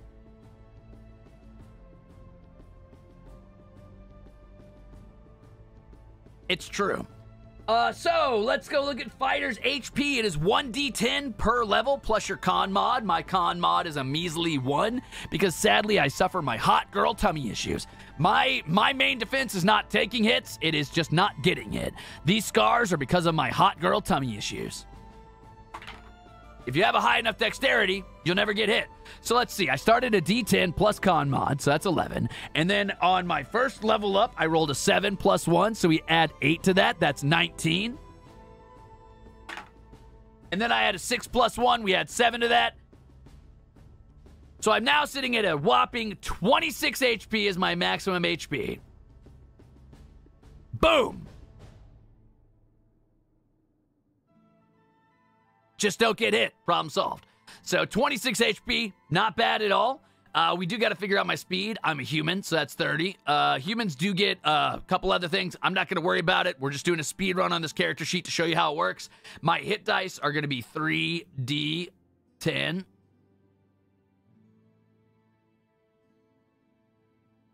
You thought that was a PNG back there, huh? Ha! Psych! I'm a very average, regular human. Trust me. D- definitely just a standard, regular human. I, uh, I'm, I'm not fire resistant. I don't have any secret hell magics. Uh, I, I, I, I don't get uh, advantage on. I, I don't get a bonus to charisma. I have a negative charisma. I swear. I swear. I'm, I'm, I'm Crimzon Rizless Ruze. I've got a plus 10 on deception like every regular human. Don't worry about it. I'm a normal human. Uh, okay.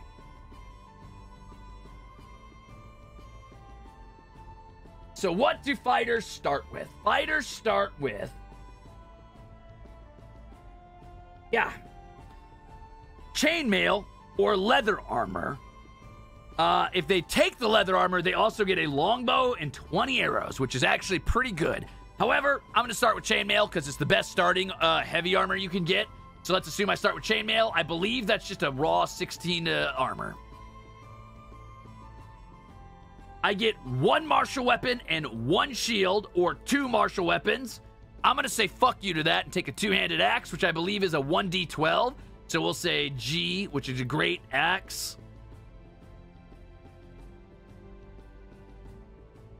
We add our strength modifier and our proficiency to hit, so we get a plus five to hit.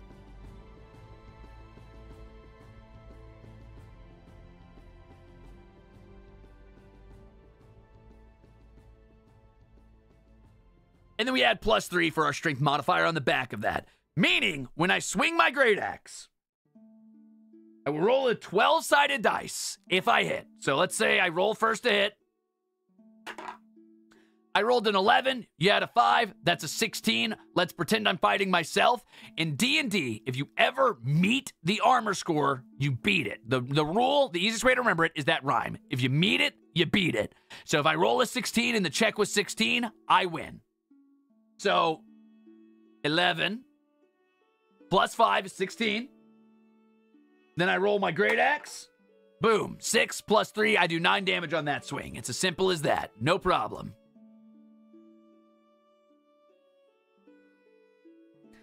I also start with a light crossbow or two hand axes. Let's go ahead and say I do a light crossbow because I am actually a pretty fucking crack shot. LC bow. I promise when I upload these later, they will be much better quality. So I'm proficient with crossbows and I get a plus two to dexterity. So that means I have a plus four to hit at range with that. Ignore that long four. They do 1d8 damage plus my dex mod. So 1d8 plus two. Bam. Easy as that. Now, as a fighter, at level two, you get a fighting style. What does a fighting style do? You remember how Ranger had choice between archery, defensive, duelist, and two weapon fighting?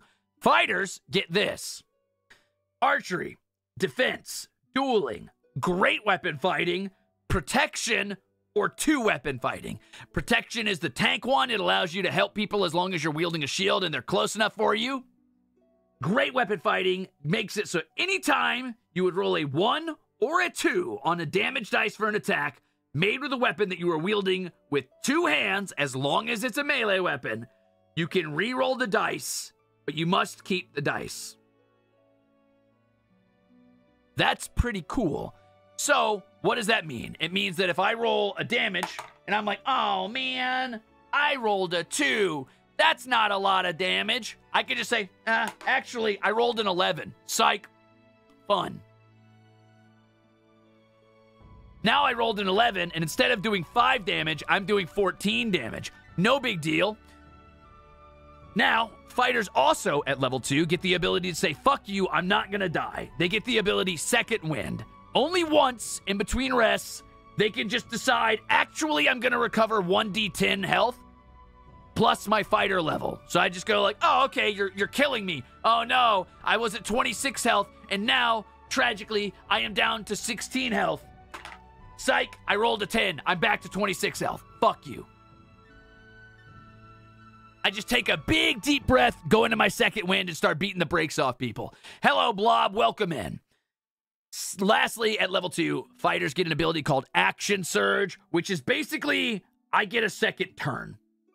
You only get to do it once, and only once per rest, so it's not a lot, but it's kind of a big deal later on and I'll explain why because fighters go down a cascading attack pattern. I'll explain in a second. It's not actually a second turn. You don't get like more movement. That's fine. Uh, you do get an extra action, which usually means a second attack. However, I'll explain why that's really good in a second. Lastly, at level three, you get a martial archetype, which is where you pick between champion fighter, which is the most simplistic fighter, and deceptively good. It is a deceptively strong fighter. Um, Battlemaster or Eldritch Knight. Champion at level three, if you pick champion, gets crits on 19s and 20s. Why is that important? That makes it so you go from 5% chance to critical hit to, tw- to 10% chance to critical hit. Meaning that one out of 10 times you roll dice, statistically, you will do double damage. That's kind of nuts. Hey, thank you for those five delicious member chips, Alexandra. Um, nom, nom, nom, nom. However, Battlemaster gets something called uh, maneuvers, which are basically spells for fighters. Things like disarm or tripping attack or goading attack. So you can get abilities that make enemies want to attack you or they get disadvantage. You can get abilities that knock the weapons out of their hand. You can get abilities that allow you to do a big cleave that hits two or three targets in a row instead of one. You can get abilities that scare opponents and give them disadvantage. You can get ability there's like it turns you into this like a tactical fighter, which is really cool. Um, I like Battlemaster a lot. I would probably take Battlemaster. Um, some people would say I'd be an Eldritch Knight because they claim they've seen me do magic, and that's a dirty, rotten lie. I'm a regular human who's never done magic. I don't know any magic. Uh, don't listen to them. Don't listen. Uh, I'm definitely a regular Battlemaster fighter. Okay, cool. Now, why? Early, you remember earlier when I said at level two, fighters get uh, action surge, right? Why is action surge important? Don't ask about my shape changing axe. How dare you? Don't. D- just because Zephyr's amorphous doesn't mean you're allowed to ask about it. Zephyr's shy, okay? Zephyr, don't listen to them. It's okay. Uh, anyway, why is Action Surge important?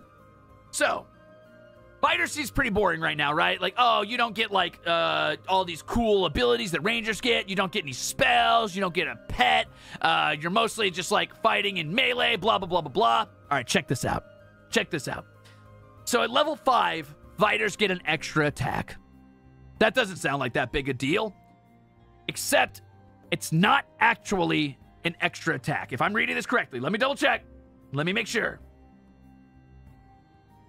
Yep, so, at level 5, fighters can attack twice. There is a lot of classes in the game that can attack twice. However, at level 11, you can attack three times. And at level 20, you can attack four times. No other class in the game can do that. But the way it is written is not actually four attacks. It is four attacks for taking one attack action. Meaning, if you use Action Surge, which you get at level 2, you refresh all four attacks. So at level 20, if I wanted to, I could attack eight times against a single target. That means in the span of six seconds, I would have swung Zephyr eight times. Easily.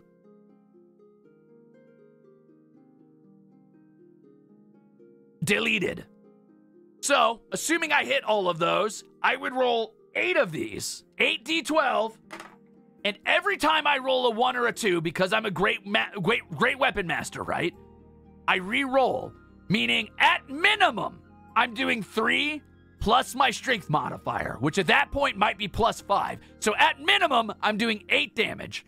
At maximum, I'm doing 12 plus 5 is 17. 17 times 8 damage, right?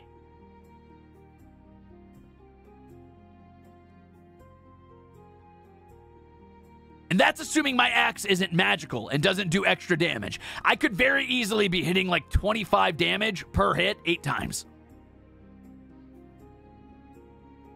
You'll almost never get to level 20 though, so don't worry about it.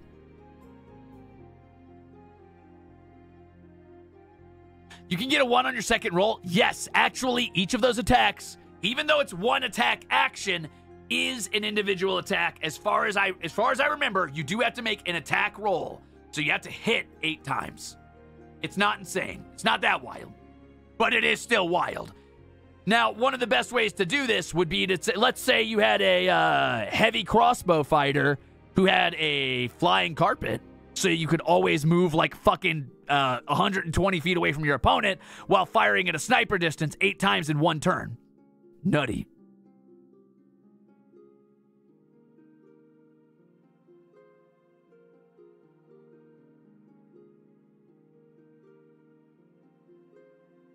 Let's say, bear with me, check this out, right? Let's say a wizard were in the game. Let's say, let's say little Timmy, our gnome wizard, is in the game, and little Timmy says, Hey, uh, you're a level let's say I'm level five. Let's say I'm a level five fighter and I can attack twice, right? Little Timmy, could, how long does it take to reach level 20? Uh, depends on your DM. Depends on your DM, depends on what level you start at. I start my campaigns at level one, usually um, it would take a very, very, very long time to get to level 20 because at level 20, you're essentially demigods. Like, wizards can cast the spell Wish, which literally lets them do basically whatever they want. Uh, fighters can attack eight times. Barbarians become essentially unkillable.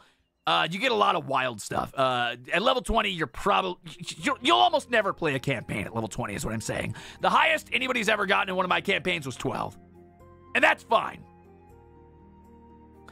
Anyway, let's say I'm a level 20 fighter and somebody casts haste on me. That gives me another free action. I can now attack 12 times in a turn. Isn't that bonkers?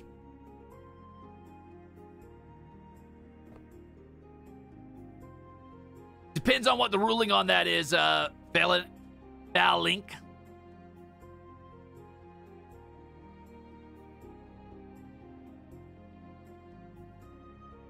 Wait, doesn't haste give you one attack action, what? One attack? Pathetic. Never mind. I take it back. I can only attack nine times. Pathetic.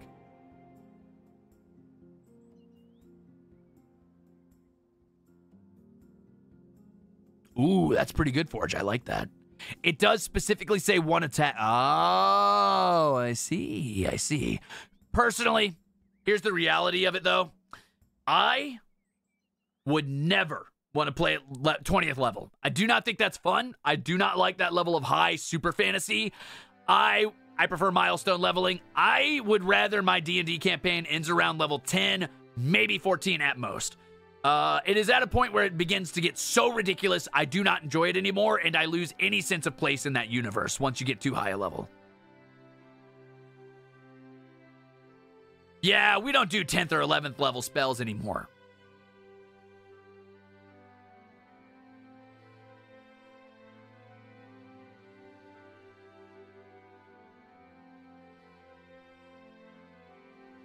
That makes sense, Big Bang Boom. Yeah, I could see that.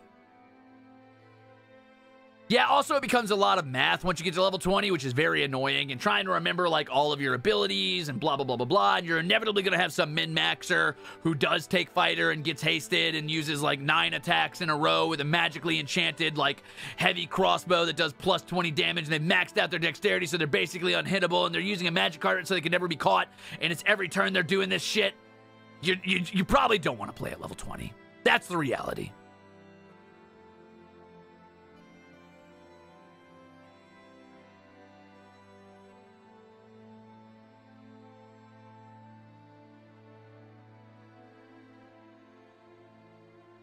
I've never played at 20. I've just looked at the numbers and decided I don't want to do that. Uh, I don't think that I don't have any trauma about being at level 20. Don't get me wrong.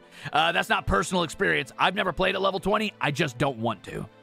Um, I feel like fights would drag on for so long, or they'd be a one shot on either side. Like to challenge players as a DM at that point, you either need like the world's biggest HP sponge, and that's boring, or you need an enemy that could basically just kill a player in one one roll, which is annoying. And even then, your wizard's just gonna cast like dispel magic or whatever, Counterspell. Sorry.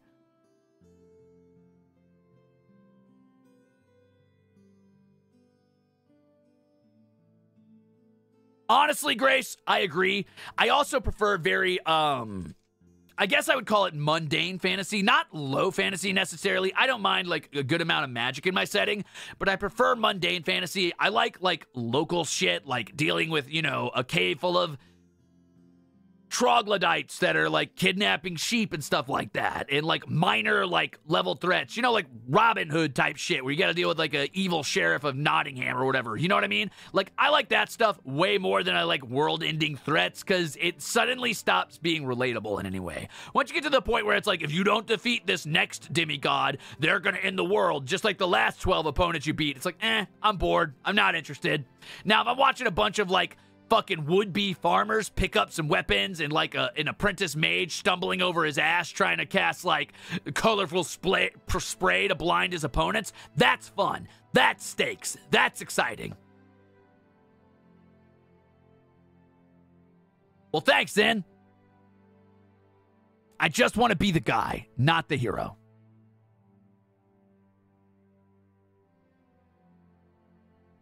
Yeah, you kind of turn into anime superheroes at level 20. And that's fine. It's fun, but in your opinion, at what D&D level is Monster Hunter? I would say most Monster Hunter characters are fighters. I would say every Monster Hunter character is a fighter, and every single Monster Hunter character is probably a level 8 fighter. If I had to guess off the top of my head.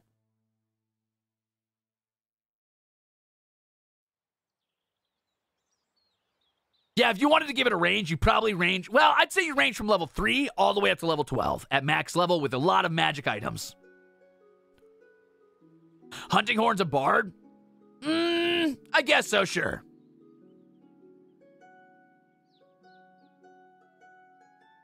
Exactly, Bing Bang Boom. Agreed. Can level 8s really take on Tarrasque level monsters? Um, yeah, if your players are min-maxing enough, I don't see why not. The thing about D&D and the thing about all TTRPGs is once you realize action economy is the most important thing, you basically win. If you could if you could control action economy, you win.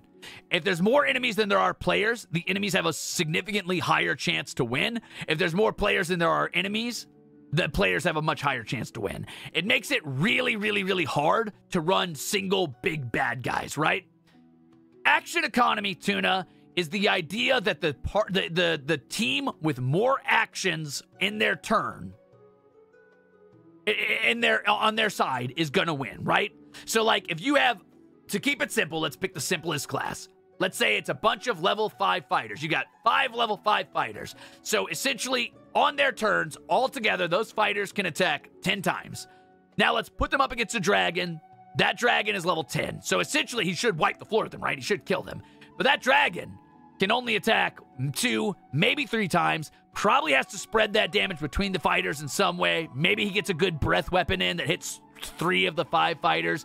You know, a lot of cool stuff, but those fighters can second wind. Those fighters can take potions. Those fighters can use their turns trying turns trying to hamper it or slow it down, disarm it, give it disadvantage. They could surround it so all of them are rolling their attacks twice, essentially, to make sure they're landing higher. It's just the more times you have to attack in a turn, the more chance you have to win. A horde of goblins is significantly more dangerous than two ogres. Guaranteed. Zin's right. Because numbers are the most important thing in tabletop, at least in D&D.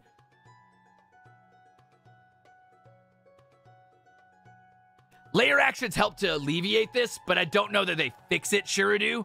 Shirudo, rather, sorry, Sh- Shirudo. Uh, but I do think they help alleviate it quite a bit.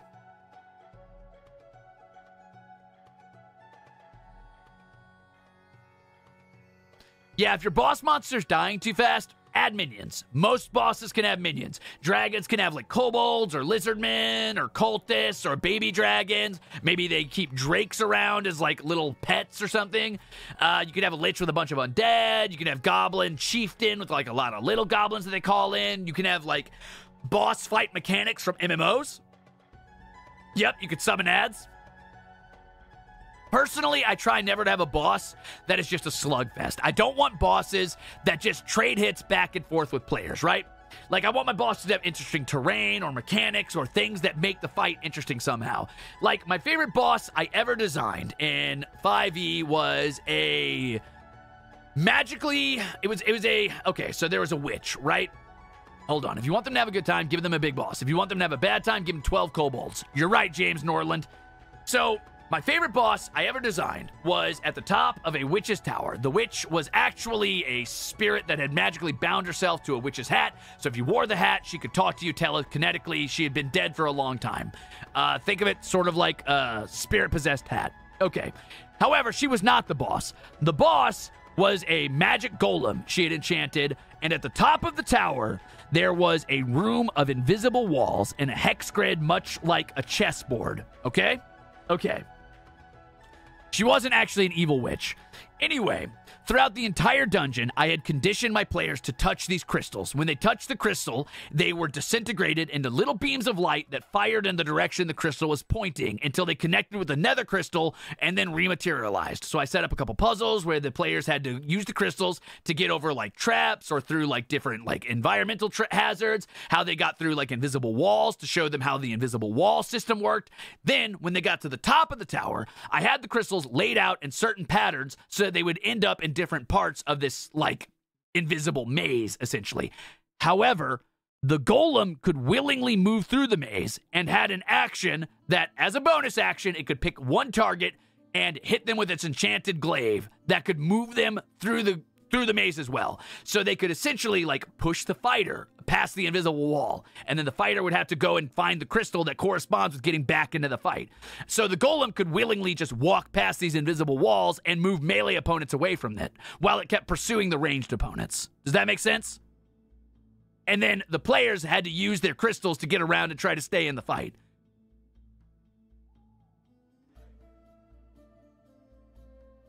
So I think interesting boss mechanics keep your game from getting boring. Yeah, the players had action economy, but a lot of that action economy was trying to keep up with the golem.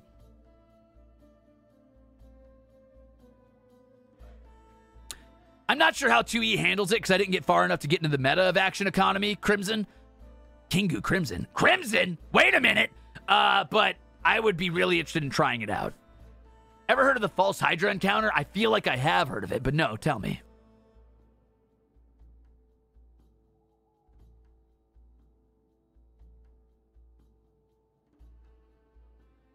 Am I going to be dungeon master as well? Most likely, yeah.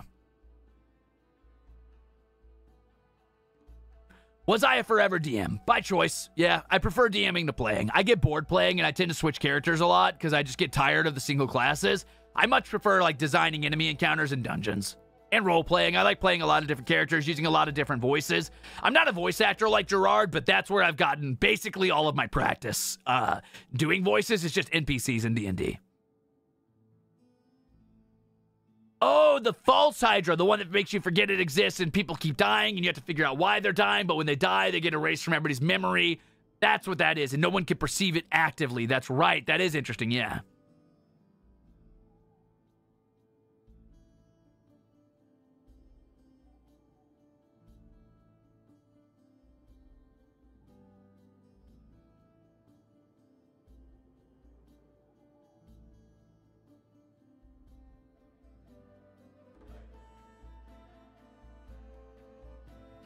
Do I have to uh, plan to have a stream for campaign writing? I would be kind of scared that my uh, players might watch that.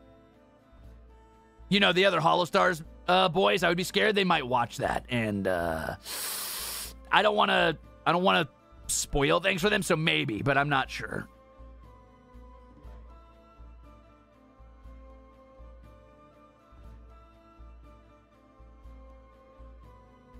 Yeah, I guess I could make it membership only. Yeah, yeah, yeah, yeah, yeah.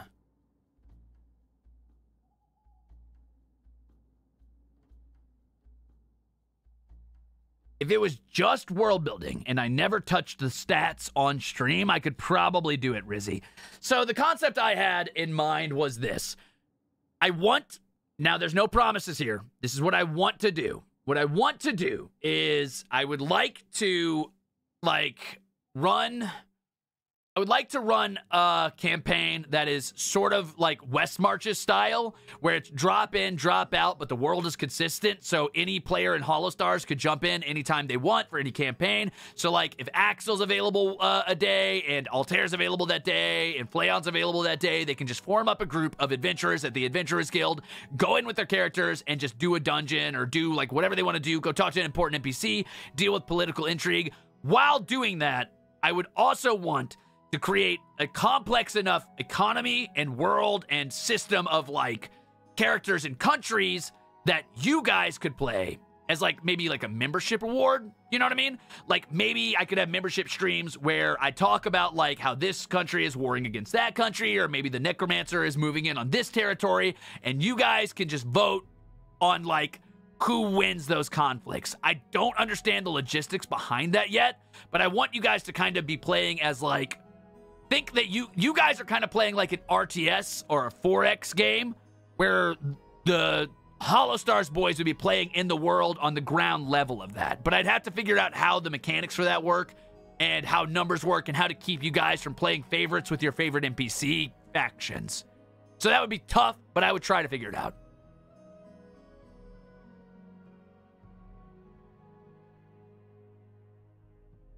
Exactly, Advent Wraith. Maybe they're trying to avoid a huge battle or something like that that you guys triggered.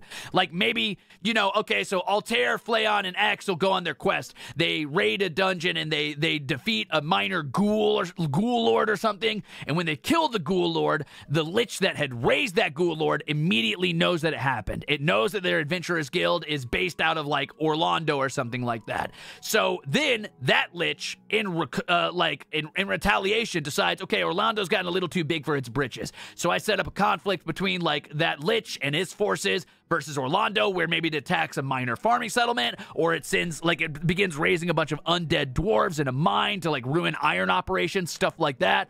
And then you guys would vote on like who's winning that conflict. So then the next time somebody plays, maybe it's uh Flayon Hakka Bettel, uh, Goldbullet, and Jurard who want to go on a mission, and they hear rumblings in the tavern or someplace about this, like, uh, like undead are starting to pop up significantly more frequently in this area, and maybe they should go check it out.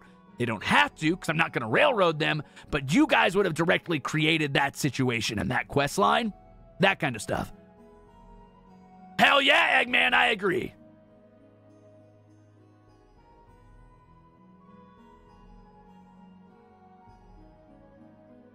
Not the Great Depression, Samuel.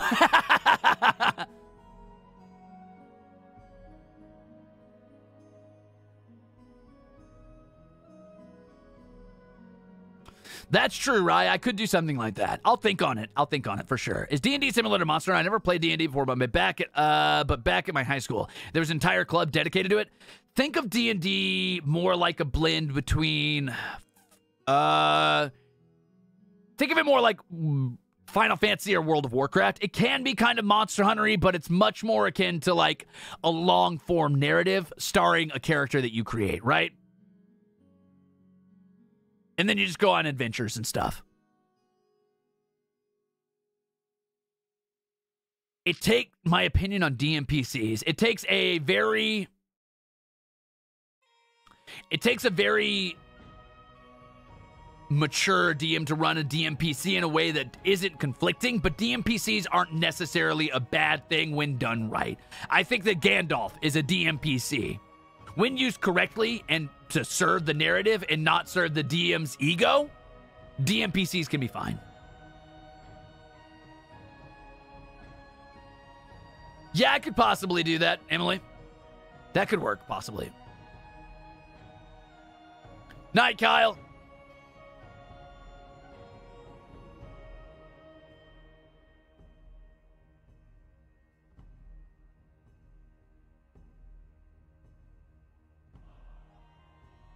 Tau, DMPC is a vaguely derogatory term that specifically revolves uh, references characters that are very clearly the dungeon master's favorite character. Sometimes the character they would like to be playing if they're a forever DM.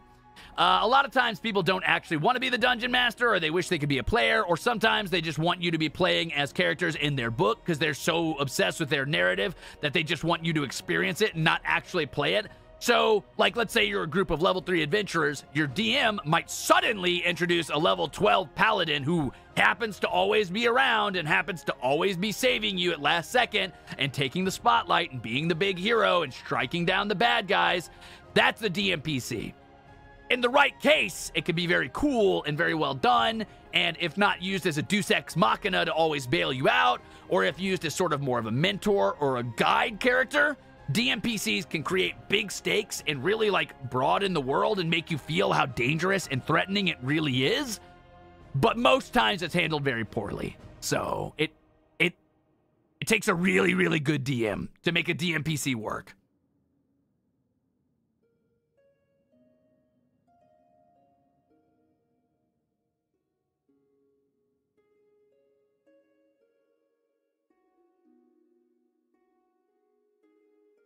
Feel like the trick with using a DMPC to bail your players out is you have to establish the DMPC earlier and you have to give them motive, right? Like at the end of the day, if you want to create a sense of like realism and create a sense that the world is living, things need to happen without the players. I, I am I am firmly against the opinion that the players are the only important people in the world.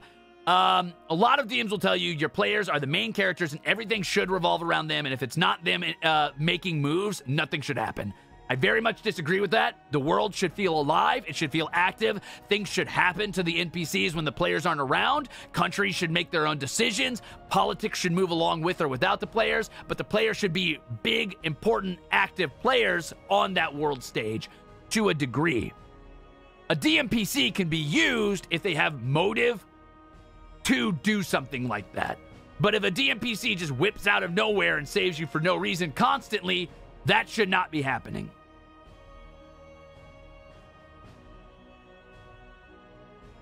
What about my sheet? What? What happened, station? I'm done. That's that's a fighter. We did it. Fighters are really easy. We're done, baby. I will do Octavio and Jurard probably off stream. I think I'm gonna wind down and chill out for the rest of this because I have uh, I'm burning at both ends. We're gonna chill out, talk a little bit of D and D, and then I'll probably call it my maneuvers. Don't worry about it. Yeah, Neku, you don't have to be insanely good at improv to be a DM, but I find that that's the most important skill to DMing. I went through a lot of sessions where I forgot to prep at all, and I played it all by the seam of my pants.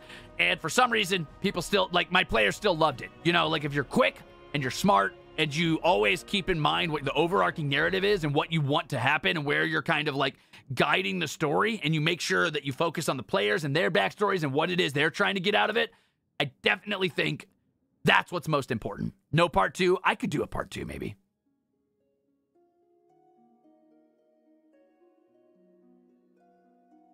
could I say the race and class for the other two? I would see Jurard as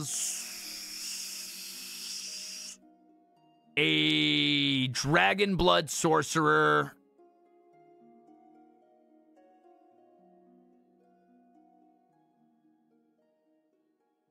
Jurard would be a dragon blood sorcerer. Maybe a halfling. Maybe dragonborn. Maybe half dragonborn. I'd give him half dragonborn. Yeah, fuck it. For this for this specifically, I'd give him half dragonborn. Um, I would argue if you want to justify my ears, you could say I'm a half elf or an elf, but I'm not. I'm a regular average human. I'm definitely not a tiefling, I promise. Um, or a half tiefling or whatever the fuck. And I would say Octavio is definitely a very tall halfling bard. But I'll work on that either in part two or off stream. Hell yeah, Joe. Thanks for tagging along and thank you for the good soup.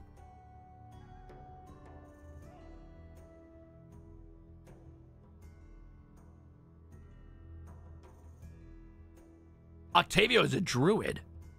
Huh. Can you play D&D on all platforms? So the thing about D&D is that you do not need a platform at all to play it. You do not play D&D like a video game. D&D is a pen and paper RPG. As you can see here, I'm just filling this out on pen and paper. All you need is dice, like so. You need a D20, a D4, a D6, a D8, a D10, and a D12. They usually come in sets. You can find them in little bags like these. And then you can find a ton of variety in your dice, like you see here. Uh, tons of sets, tons of different designs. And you could play in person or you could play online if you want to on things like uh, D&D Beyond, Roll20. Uh, I believe D&D is coming up with a online uh, player specifically right now. Um,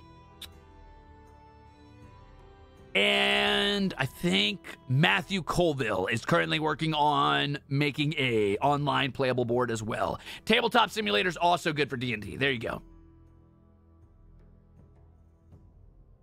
Oh, and Foundry. Yeah, Foundry. Good point. Good point. Yep, yep, yep, yep, yep, yep. Just look for virtual tabletops. Yeah, there you go. Personally, I like playing in person. It's hard to substitute like have like having everybody get together, have some snacks, goof around, share some jokes, drink some soda, drink a maybe a little bit of wine, have a pizza, etc., etc. 400 to 500 dice is a hell of a lot. Holy shit.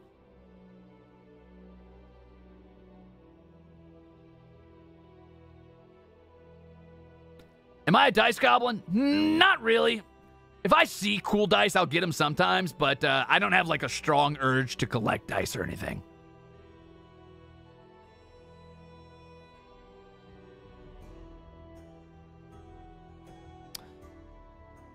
Well, Regal Masquerade, I guess it depends. Swarm of Bugs is a tough enemy because it seems like something that's really easy to deal with, but it's a deceptively dangerous enemy at level 1. Uh, all the way up to level two and three, even I would argue, especially if you don't know what to do with it. Um, my argument would be this: if they're just going to be passive aggressive about it, you probably don't want to deal with that type of player. Uh, but I would say tell them you've made a mistake as a DM. It happens. You apologize, and it won't happen again. If you don't want to resurrect the player, or find a way to bring the player back, maybe there's a cleric nearby who happened to find their, uh, you know, bodies. Uh, maybe the swarm of bugs was actually an illusion and the player never died in the first place. Maybe there's like some wizard casting some really advanced illusion or enchantment spell that makes them think they saw their friend die to a bunch of bugs, but really the friend was knocked unconscious or teleported away. You can find a reason for that player not to have died, but that's up to you. They're level 12, then they shouldn't have died to a swarm of bugs. They fucked up. Eat those dice, you won't.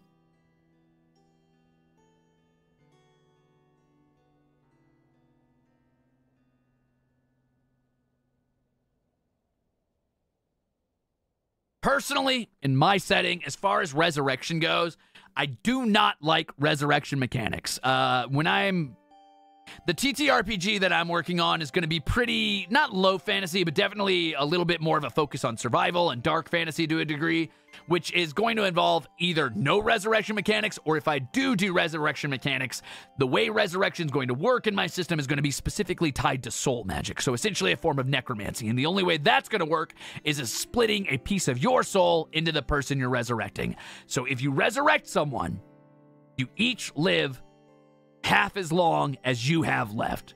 And if either of you dies, you both die. Hey, thank you for the membership and welcome in Yukiki.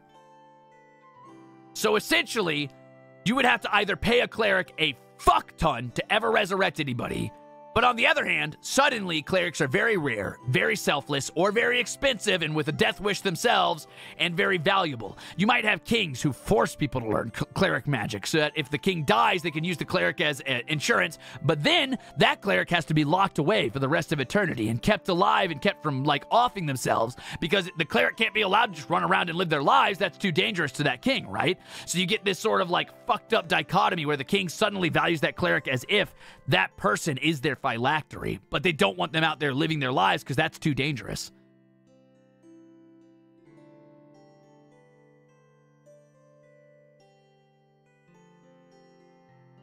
I think that would be enough to balance uh, resurrection mechanics out a little bit.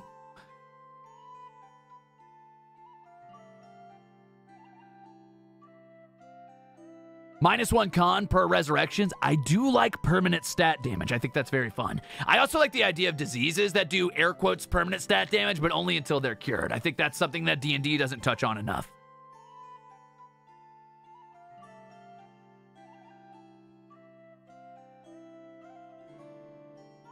Well, just don't resurrect people, Dragon Rider. The trick there is don't let them die if you're a good cleric, right? Have I watched Tempus's D&D? I did not, but I should.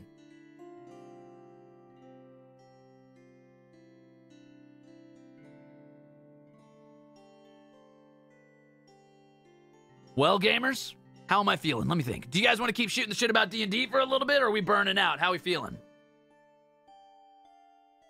Personally, I've cooked my brain a little bit on both ends of it, but that's okay. It's on Vesper's channel? Oh, okay, okay. I haven't had a chance to watch a lot of Vesper's content, so I'd be interested.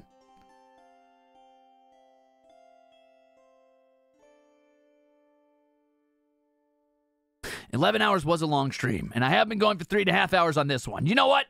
Um, you know what? Let's go ahead and say, let's call it for now, and we'll do a part two later. I, I've enjoyed this D and D talk. I enjoy talking about TTRPGs. I could talk about my own setting for forever, but I don't want to because uh, then I'd be spoiling it, and I gotta save that for if I ever publish it. Which who knows? Right now, I'm focusing on being an idol, so I don't really have like a lot of time to research, you know, dice systems and mechanics and things I would want to do. But I still like to develop the like interesting races and factions and cultures in my free time. I'll tell you about my uh my bipedal uh, carapace people at one point. It's gonna be real cool. You'll love them. Hell yeah, you can A. No problem. Thank you for the soup.